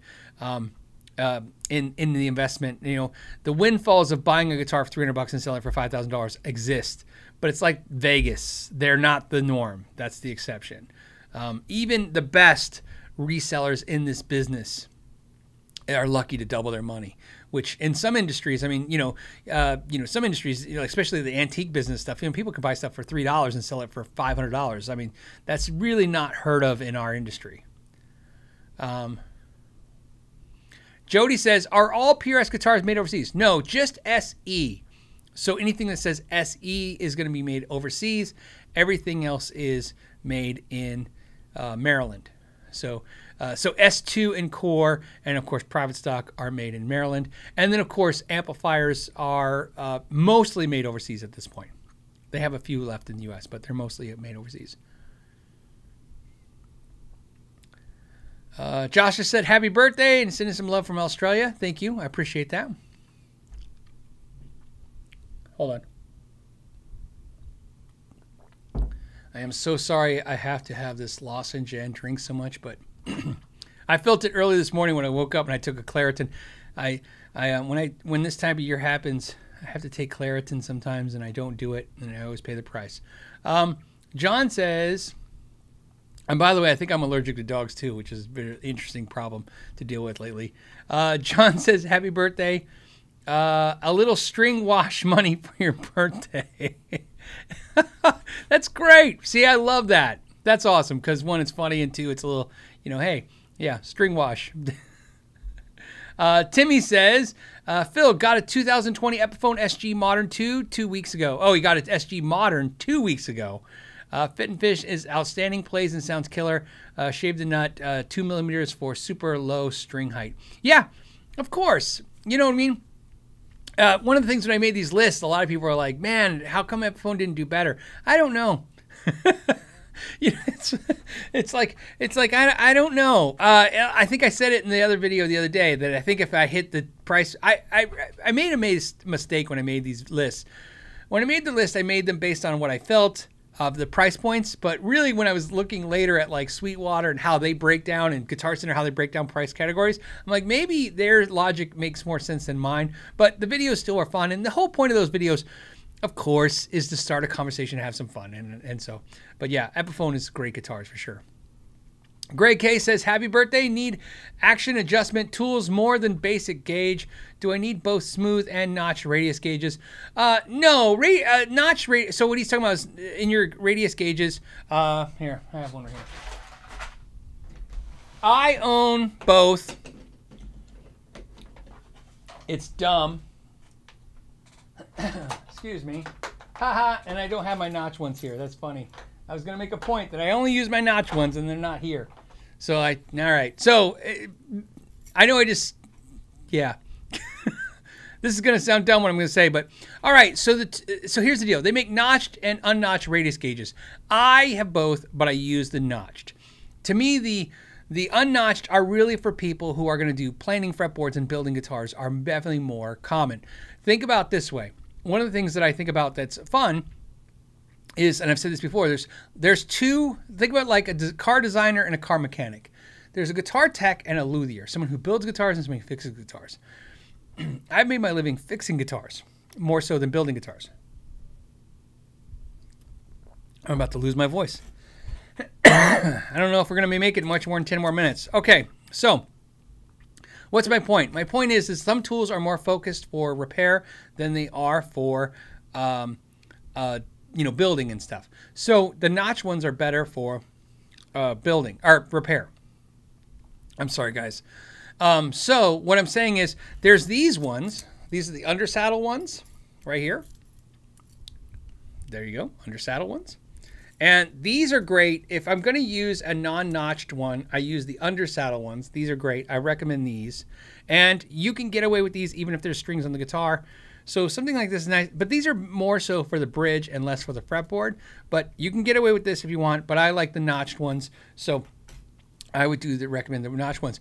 You know, I read I had originally talked to StewMac about doing uh, well, they talked to me about they had me send them a list of tools that I think are mandatory for maybe a basic setup. And they wanted to put it together as a kit and offer it to you guys. Uh, and so and I never got any follow up, but it's in COVID, so I never got any follow up with that. Excuse me. I'm sorry about this lozenge thing, but I got to do it. Um, so what's my point is, uh, I'll try to follow up with them. If nothing happens from that, I'll just put it together myself. It's just a list. Um, they wanted to do a thing where I got a kickback every time you guys bought the kit. I really don't care about that. really, you know what I mean? I really just want you guys to have the information. So I'd have no problem making a list. I just thought it'd be cool because I could send people to the list versus, you know what I mean? So I'll create up a list. Excuse me. All right. All right. Now what do we got? We have uh, Frederick says, should I buy a standard deluxe reverb or save for a hand wired one? Um, that's up to you and your decisions. Uh, but I don't, I don't own any hand wired. Um, Fender amps. I did uh, hand wired kit. I did the StewMac and Mojo 5e3s. I wired that myself. That was fun. But uh, buying hand wired, uh, it's not it's not something that's like appealed to me. I've played a few of them and they were great, but I didn't feel anything. I have the deluxe uh, reverb, uh, 65 reverb, and I love it. It's perfect. Uh, and I bought mine used for a deal, so I, I was totally happy with that. So do that. I would recommend that. Uh, Tony said, uh, "Happy birthday, man! Thank you." Says, uh, "Here's ten dollars for a new hat fund." Ah, new hat. I have lots of hats. You don't like my hat? you know why I wear this hat. I've said this before. Now I don't really need to think I wear it anymore. I changed the lighting room. I talked about this before. Hold on. I talked about this in the lighting of the room. The issue with the hat was uh, when I had the lighting in the old way, the light was glaring off the head, and it was distracting. Well, it was distracting to me. and so I need a hat. This hat just hangs in this room. There's no thought. Plus, plus, let's be very clear. Most of my hats. Uh, so here, here, here's the thing with the Know Your Gear shirts, right? I wear the Know Your Gear shirt. You have to understand, most of my shirts, 90% of my shirts and my hats are gear. Okay, you can't have this much of a problem like I do, a much uh, an addiction to this, and not buy your clothes the same way. So I have Fender and Gibson shirts and PRS and Ibanez and uh, you know, you name it, StewMac shirts, you every shirt, right? Music stores, I probably got eight eight or nine music store store T-shirts, and then hats. I have uh, my favorite hat is this uh, golf hat that's a PRS hat, and I wear that a lot. The problem I have when I do the live show is I don't want to wear those hats because uh, when I do, uh, it gives people the impression that maybe they're funding or, or sponsoring the live show. And um, the reason I don't do that is because I, I want to make sure that everybody understands that the live shows that you watch every week are sponsored by Patreon. The patrons sponsor this they're who who pay for this to be and when i say sponsored is this goes on as a podcast more people stream it as a podcast than watch it on youtube and there's no revenue from the podcast because I, I, don't have a you don't get paid like youtube you know i get the whatever the quarter of a penny every thousand views or whatever the heck it is that they pay us a couple bucks every thousand views for these videos. And then of course you guys doing super chat stuff. But i mean just saying you know the live shows get funded by uh, the patrons you know right for doing this because um, they don't get huge views all right. these are too long of videos. No one you know i can't get 100000 people to watch a, a, two, a two, hour video of talking. It's crazy. Um, that being said uh, the patrons uh, support it that way. So uh, that's why i don't want to wear anything that promotes a, any kind of brand particularly although of course i say that why I have this Fender here, but I like I just told you, I bought this Fender, so obviously, um, Fender gets a free promotion because I bought a bought him an amp. I bought I bought an amp.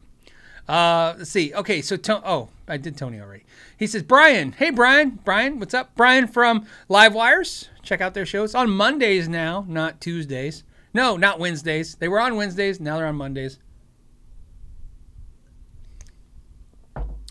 So he says, Happy birthday. What is your bass string height starting oh point for a setup on a new bass with high action Fender Mustang short scale and case? Uh, that's a great question. I don't know.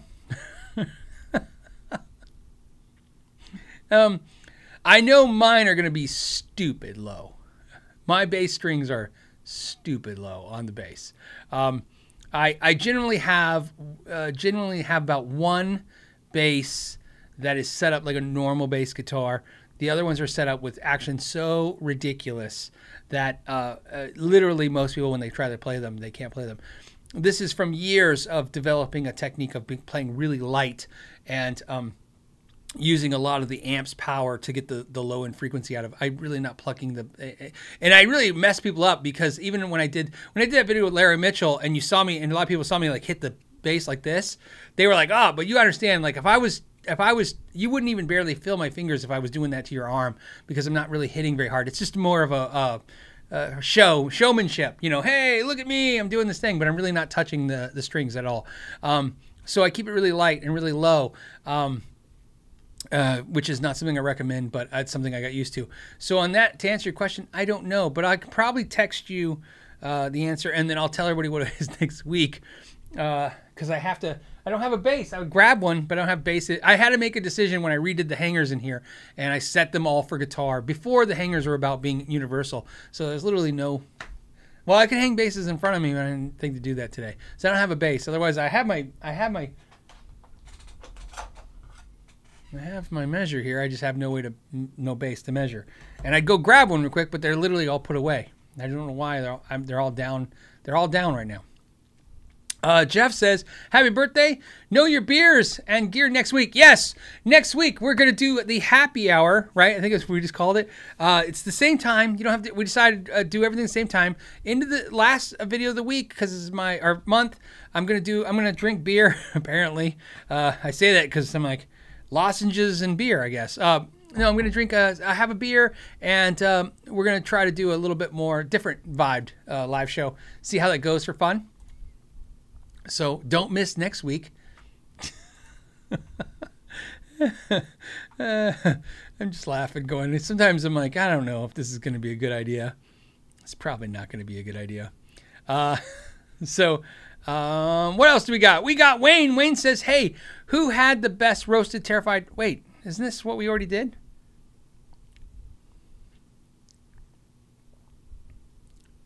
No, this is a question. Oh, I already answered it. I just answered order. order. Okay, so now we have. I'm gonna say Natel Park dude.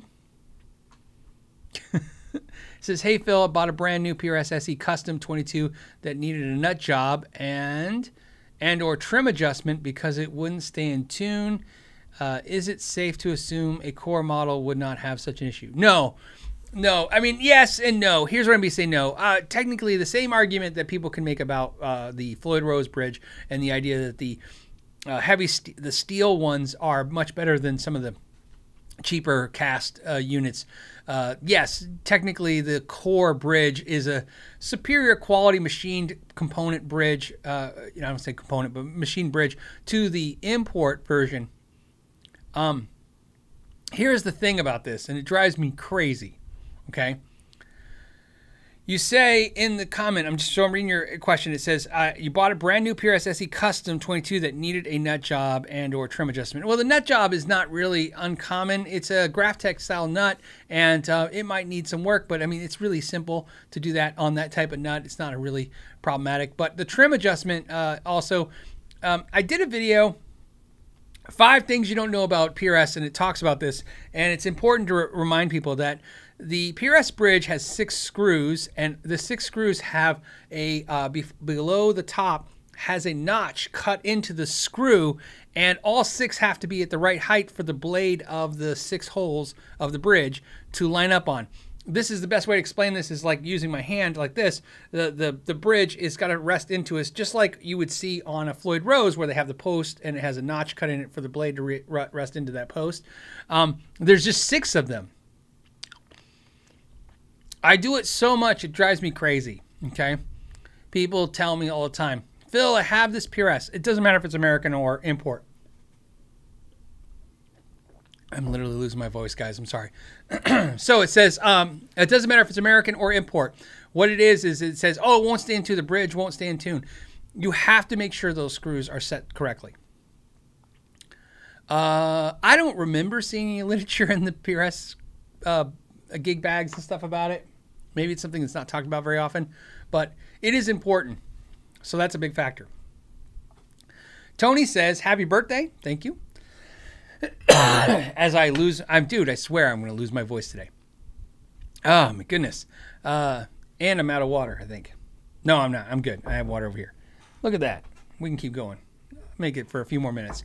Uh, it says, uh, Gary says, B- Gary Big G says, uh, hey man, how's the guitar build off going? Wait, I think we already did this, right? Oh no, no, it's a different question, but we already answered that, Gary.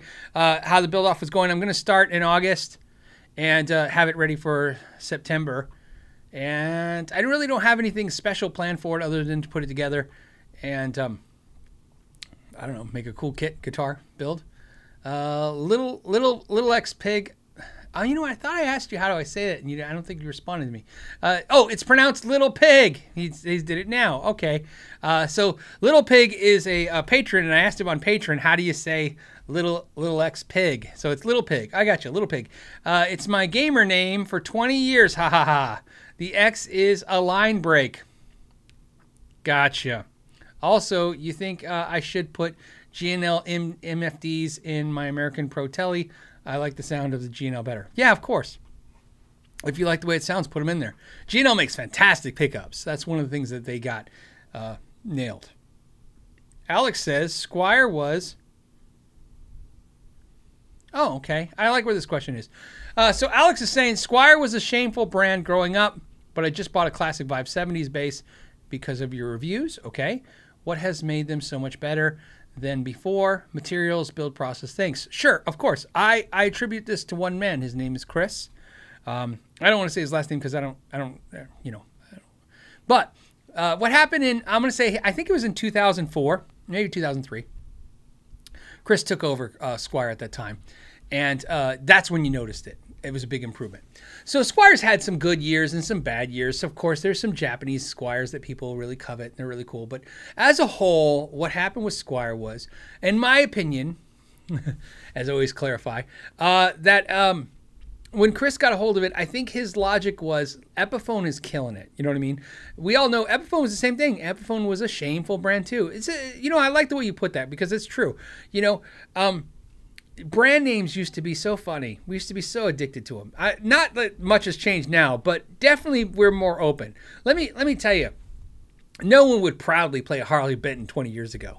Everybody, you know, right? You got shamed for because it was a money thing. They knew you were broke. You're like, oh, what do you got, Squier? What are you broke? right? Um, and it wasn't had nothing to do with the quality. The quality was pretty good even back then, but it was definitely that vibe. What ha- but what happens is is Squier was able to brand itself in a new way using Chris, and yes, they improved. Not only the materials have improved for sure, but one of the things that really improved with Squier is the specifications. In other words, for the longest time, one of the biggest nightmares of Squier was nothing was spec like a fender. So you would get a pickguard, but you couldn't put an aftermarket one on it, and you couldn't put a bridge on it from a fender, and you couldn't put tuning keys. Nothing would work, right? It was just frustrating all the time. You had a thing that looked like a fender, but it didn't interchange with fender parts, and that has mostly changed. A lot of that has changed, especially anything that's mid-price Squier now. Uh, you know, besides the really entry-level $99 bullet stuff, and even that's come far away and specced out way more like a fender than ever before. But but yes, they've improved the value. The bass brand, especially, even more so than the guitar brand, in my again, in my opinion. But uh, yes, but the other thing is that's really happened is they they are able to market Squier in a new way that makes a lot of sense. And here's what I mean by that. I think uh, I think um, and I don't have a great analogy for this. I should, I should, but I don't. Which is, you know, if you think about a classy car, maybe let's say Fender and Gibson are the classy car, and sure, if everybody has a classy car, you know, they have some money, they make some ch- some cheddar, so to speak. If Cheddar Kung Pao's watching, um, uh, but you know, now people buy cars that are like Toyotas, and you know that they're just buying good value. They're like, hey, I buy a car, uh, Toyota, because I know it's going to last a long time. I think Squier has proven itself to be that. Uh, which what I mean by that is uh, you you see people, you see players purchasing a Squier or an Epiphone based on a very practical decision, not a I'm broke as a joke and I can't afford the real deal. That that has gone away because of the fact that let's be let's be honest, right? I, have said this many times. I said it with the PRSs as well. It's not a uh, a decision of uh, should I buy a, a, a American Fender guitar for a thousand bucks? You know, you can pick one up used. I can buy a Squier Telly and a Strat and a bass and have three good instruments, really good instruments. I'm gonna say great, maybe great, very good instruments, and maybe that's better. You know what I mean? It covers more bases, right? I have the Telly sound, the Strat sound, and a bass, maybe even the Jazzmaster, right? So there's very practical things to that. Um, I will tell you this, and I've said this before. I've spent a long time collecting guitars, obviously owning a store for 12 years, repairing guitars for the last 16 years. Uh, the collection grows, and now being a YouTuber, I've been just I've been in the industry. I've been connected to so many so many people in the industry doing stuff that there's just this has been a growing collection for many years. It's a lot of a lot of hard work, more so than money. I've never been never been so what is it cashy? I don't know what the kids say. What do you say when you say you got a lot of money? I don't I don't know what to say. I don't have that. I just have I've been in the industry. Like I have friends that work at Guitar Center and they have collections that'll blow your mind because they're smart. They knew when the good trades came in, they bought them. So that being said, uh, this is this is the result of a lot of hours of hard work getting that done. That being said, if I could go back now, if they had the guitars they have now, I wouldn't buy this stuff. You know what I mean? Uh, and slowly I move the other way direction too. I've actually bought more of the uh, more inexpensive guitars because they're so good. So there's things to be said about both directions, right? Um, but to answer your question, yeah, it's really good stuff. That's what changed. I'd say about 2004, and it just got better after that. And I think he's really and and also better colors, better things. I mean, like I said, Squier's a legitimate brand now. I think that's to be said. Okay, uh, prize hole. prize hole reprisal says, "Hey Phil, love the show. I sold three guitars during quarantine, and today my dream guitar came in. All right, what is it? It's a 2007 ESP uh, Alexi Alexi Laiho, uh, uh, and I'm probably saying it close right. I know who he is, Alexi Laiho from uh, Children of Bodom. Uh, and uh, ever try one?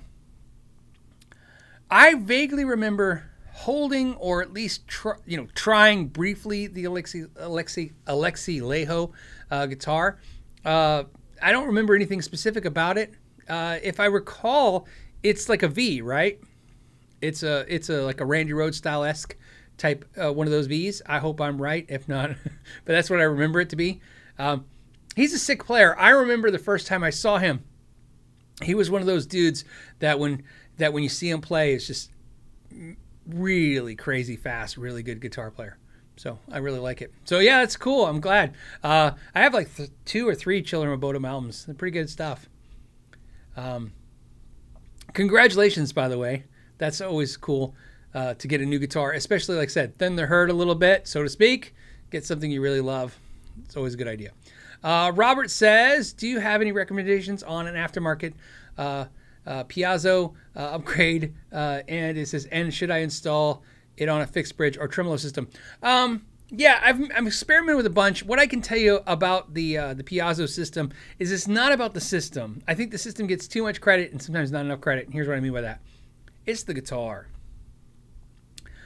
They really need to be in the right type of guitar. Um, uh, if me, some of the best uh, systems I've seen aftermarket put in are like Intellis. Sometimes in the Strats, it's just too much, uh, too much treble. You know what I mean? They don't. The problem is also too. You gotta understand they they really don't react well to the smaller gauge strings. They get thinner. The acoustic sound gets thinner. Um, it's a trouble. You know what I mean? If you notice, a lot of companies when they when they make guitars with the Piezo system, they'll put 11s on it. Uh, I've I've experienced that too as well. You could do nines and stuff. I'm not saying you can't do that, but I mean, it really does affect the sound. It gets really bright and really shrill. Um, the other thing about them too is uh, the, a good Piezo system. You got to understand. There, a lot of people say this all the time. They're they're tinny and they're harsh and they're not very good. Yes, that's absolutely true. It's no one wants that system. Uh, we use it because uh, it's what we have available to us. Uh, so that being said, uh, the Ghost system is really good. Uh, by uh, Graph Tech. Uh, LR Baggs makes a great system, and the Fresh Fishman guys make a great system. I tend to use the Ghost system by Fish or uh, Graph Tech just because it's easy to install and I trust it. But that being said, it's the type of guitar you want to put it in, but more importantly, make sure you spend some money on a good preamp, pedal, or amplifier for it because you're going to find it's never going to sound good until you, you fix that problem. Uh, that's going to be the most of the sound right there. Just like a good acoustic, electric acoustic guitar, you're going to really need something for it to go into that's going to really, really make it sound good because it's not going to sound too awesome coming out the out the gate, so to speak. Uh, Eddie says, "Hey Phil, what do you think of the Harmony guitars?" The ones coming out of Kalamazoo. I haven't tried them. I only saw the little teaser on, uh, um, and I probably saw it from Ryan at 60 Cycle Hum. I think he did a quick little video about them at Summer NAMM. And um, I'm sorry about my clicking if you can hear my, my lozenge. Um, if I recall, I like walked by the booth, I saw Ryan, and then later I made made a point to look for the video. I'm pretty sure I'm doing again. That was pre-COVID days. Remember before COVID? Um, so again, no no real experience with them at, at all, um, and that's why, like I said, uh, you know, that's where it gets tricky. You know, I try to put my hands on as much stuff as possible, and uh, and luckily uh, YouTube has afforded me more of that opportunity than ever before. But even then, it's just impossible to get to them all. Um, okay. Uh, snake juice, snake juice, but it's I think it's snake, snake juice like snake juice, but snake juice says, "What's your opinion on musicians who partake in cannabis before practice in to enhance creativity in legal places? Of course, right? We're not advocating breaking the law. Where I live in Arizona, it's medical use only. Sincerely, a Canadian. Uh, yeah. Uh, here's what here's what happened. Um, I don't know if this is true by any means, but it seems to be what I've concluded in my life. Uh, musicians who who smoke uh, or take take whatever whatever however they partake now they eat, eat a gummy bear or vape it or whatever. Uh, anyone who smokes weed and plays guitar or drinks alcohol and plays guitar, I think it's conditioned to uh, you doing it. Uh, in other words, what I'm trying to say is like I drink alcohol now. I didn't for so long that if I try to drink and play guitar now, it's like almost impossible. But yet I have friends that drink and then play guitar. It's like no no problem. But I've also have friends who literally drink a lot, but will not drink until they after they play their show because they can't play and drink. Uh, so the same thing uh, goes for that. Um, um, uh, you know, there you go. Um, I will tell you this. Uh, this is uh, this is how we'll end it for the birthday. I got one more and no more super chats. Uh, appreciate all the birthday wishes. Appreciate everything. But uh, I'm gonna do one more after Snake Juice. I'll tell you this funny story because it happened to me uh, last year-ish ago. Um, I had my first ever edible. you guys will know what that is. you know, hey, I'm an adult, and um, I was in a state where it's legal, and I had a first edible cookie. if you guys don't know what that is that is, uh, you know, they put pot in a cookie, I guess, right? So here's the deal with that. Uh, I learned something. There's no. Um, I, I, thought it was weird what happened. here's why. I'm trying to give you. i am trying to get a prop to go. Here's a prop. They had the cookie, and I read all over the cookie, and there was no suggestion for uh, dosage. Like it didn't say like eat a quarter cookie or eat a half a cookie or eat the cookie. Um, and uh, here's what ended up happening. So I already had been drinking. It was at a I was at a friend's house, apartment. No, don't listen to me. I was at a friend's hotel room, and we were going to see across the street to go see a stand-up comedian. And so we were at this hotel, nice hotel, and I had a couple uh, alcoholic beverages, uh, some beers, and then it was time to eat this cookie. This is the very exciting moment in the life to eat this edible and then go watch a stand-up comedian. And so um, I never had tried it before. this is where, I, where, and I learned I learned a horrible lesson that night. So what happened was they said, "Oh, you just eat a piece." Well, I ate a piece. Now this is the problem. I had no one, you know, like a, a shaman or whatever. He had no one to take me on the journey. Okay, so I ate the piece of cookie, and uh, the the show was on in like an hour, and I I don't know, 20, 30 minutes go away. I felt nothing. I was like, this is not, it's not working. That's not working. So I should eat some more. So I ate another piece. This piece a little bigger, maybe like that big or whatever. And uh, and then we go and uh, we go to the, the club and they seat us and we're watching stand up comedians. hilarious. And I don't know what happened next, but it felt like my whole body decided to go to sleep. like it just went to sleep without me.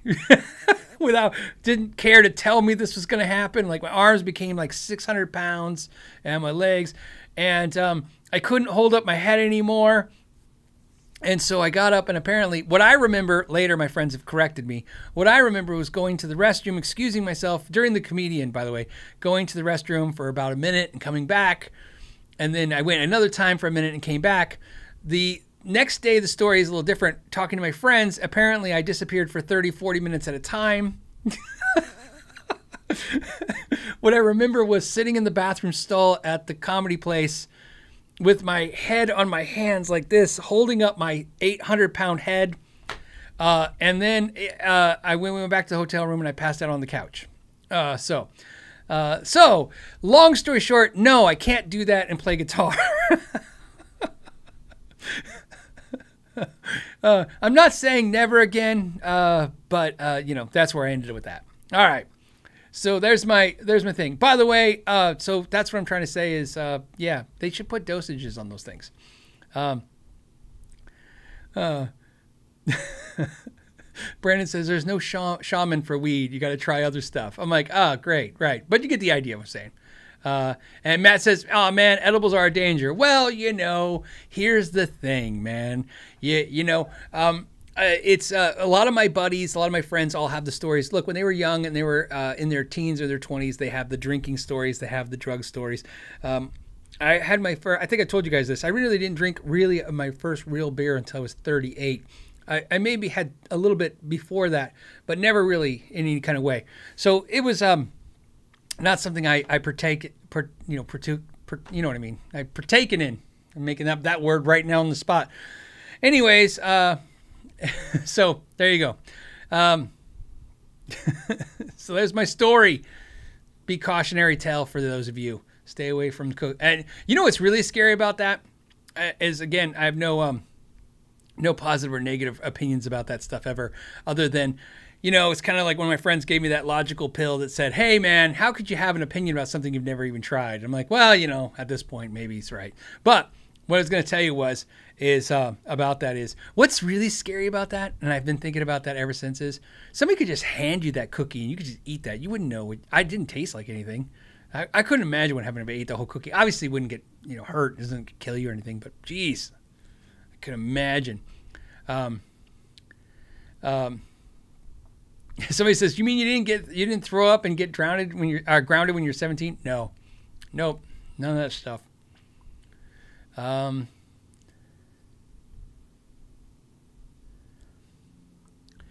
uh, Tony says, "I've never tried drugs or alcohol, and I'm of age, and I don't care for it." Yeah, you know it is. It's it's not it's not a really appealing thing to me.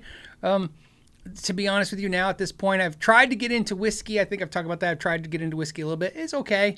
Um, you know, try uh, trying what do you mean tasting and stuff, and now a little bit of the craft beers and stuff. it's really just you know at this point, it's about trying things. Um, but it's not really my heyday. Like I said, I'm more my my vice is coffee. That's where I'm going to be forever.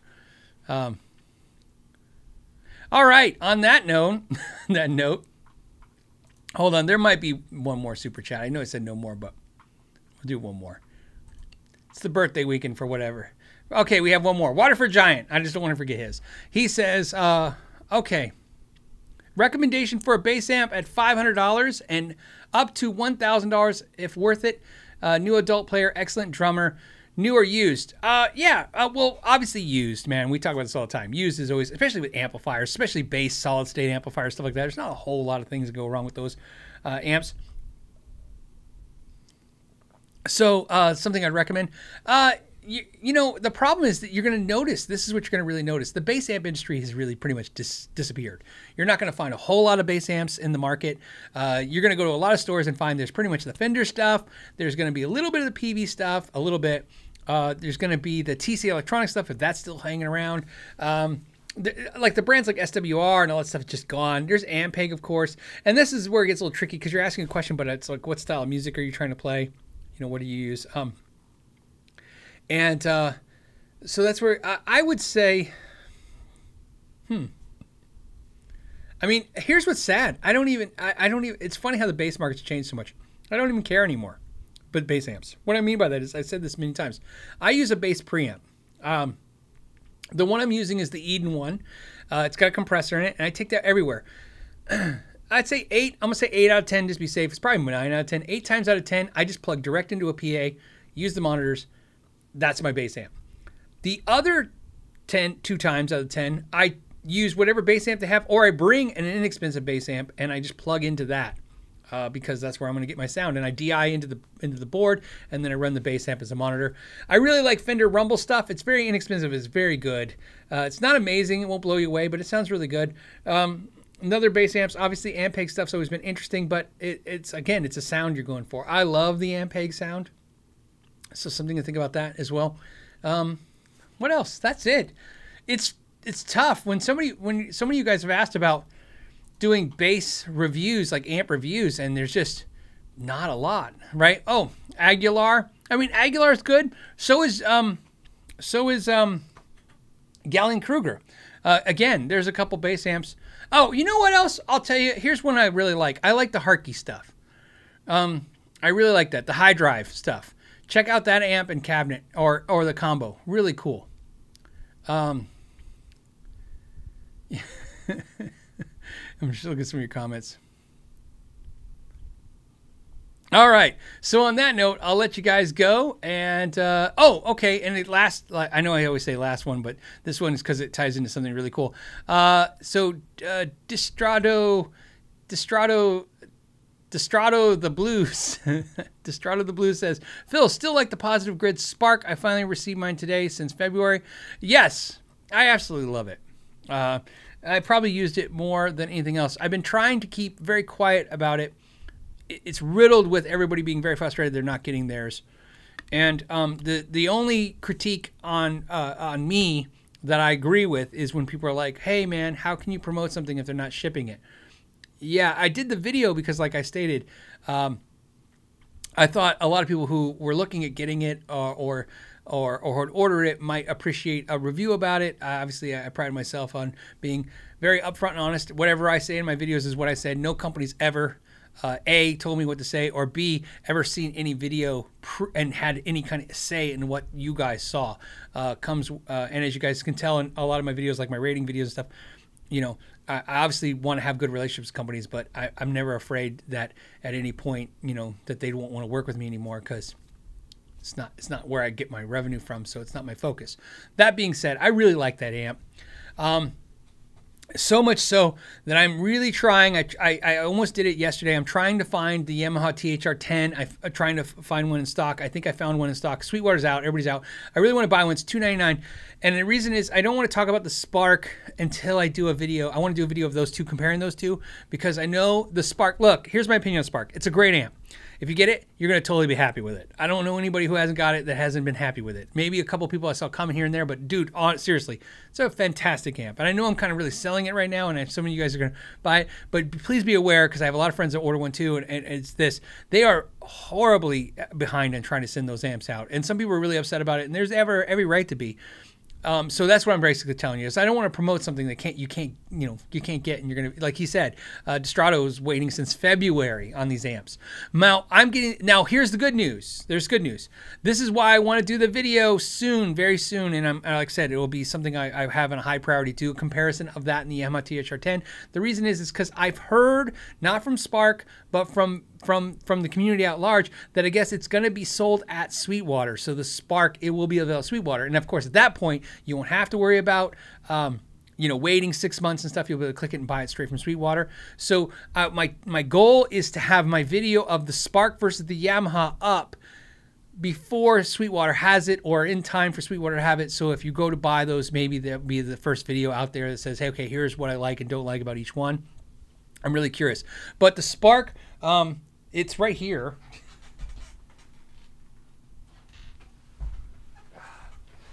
And um, I still use it like every day. It's probably the most used practice amp I've ever used ever. Uh, I still have, if you're curious, I still have my Katana 50. Everybody's asked, yes, it's I do. It's downstairs. Uh, I'm not keeping it. I, I haven't sold it yet because I don't want to sell it until I know for sure I'm not going to do any comparison videos with it or anything like that. But I have no no no uh, inkling to keep it because I, I like this. I like this much better. If you're going to use the, the, the katana for gigging or playing out, yes, but for home practice, I, I enjoy that.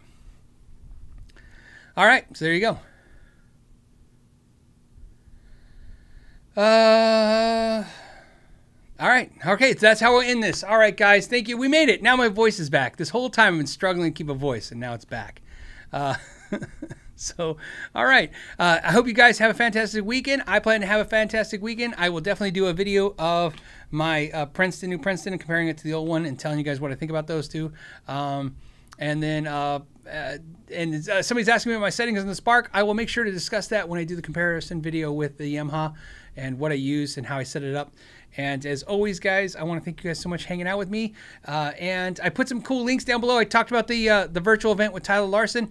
Please check that out. You guys coming up in August. If you guys want to do that, it's very cool. And as always, thank you so much for your time.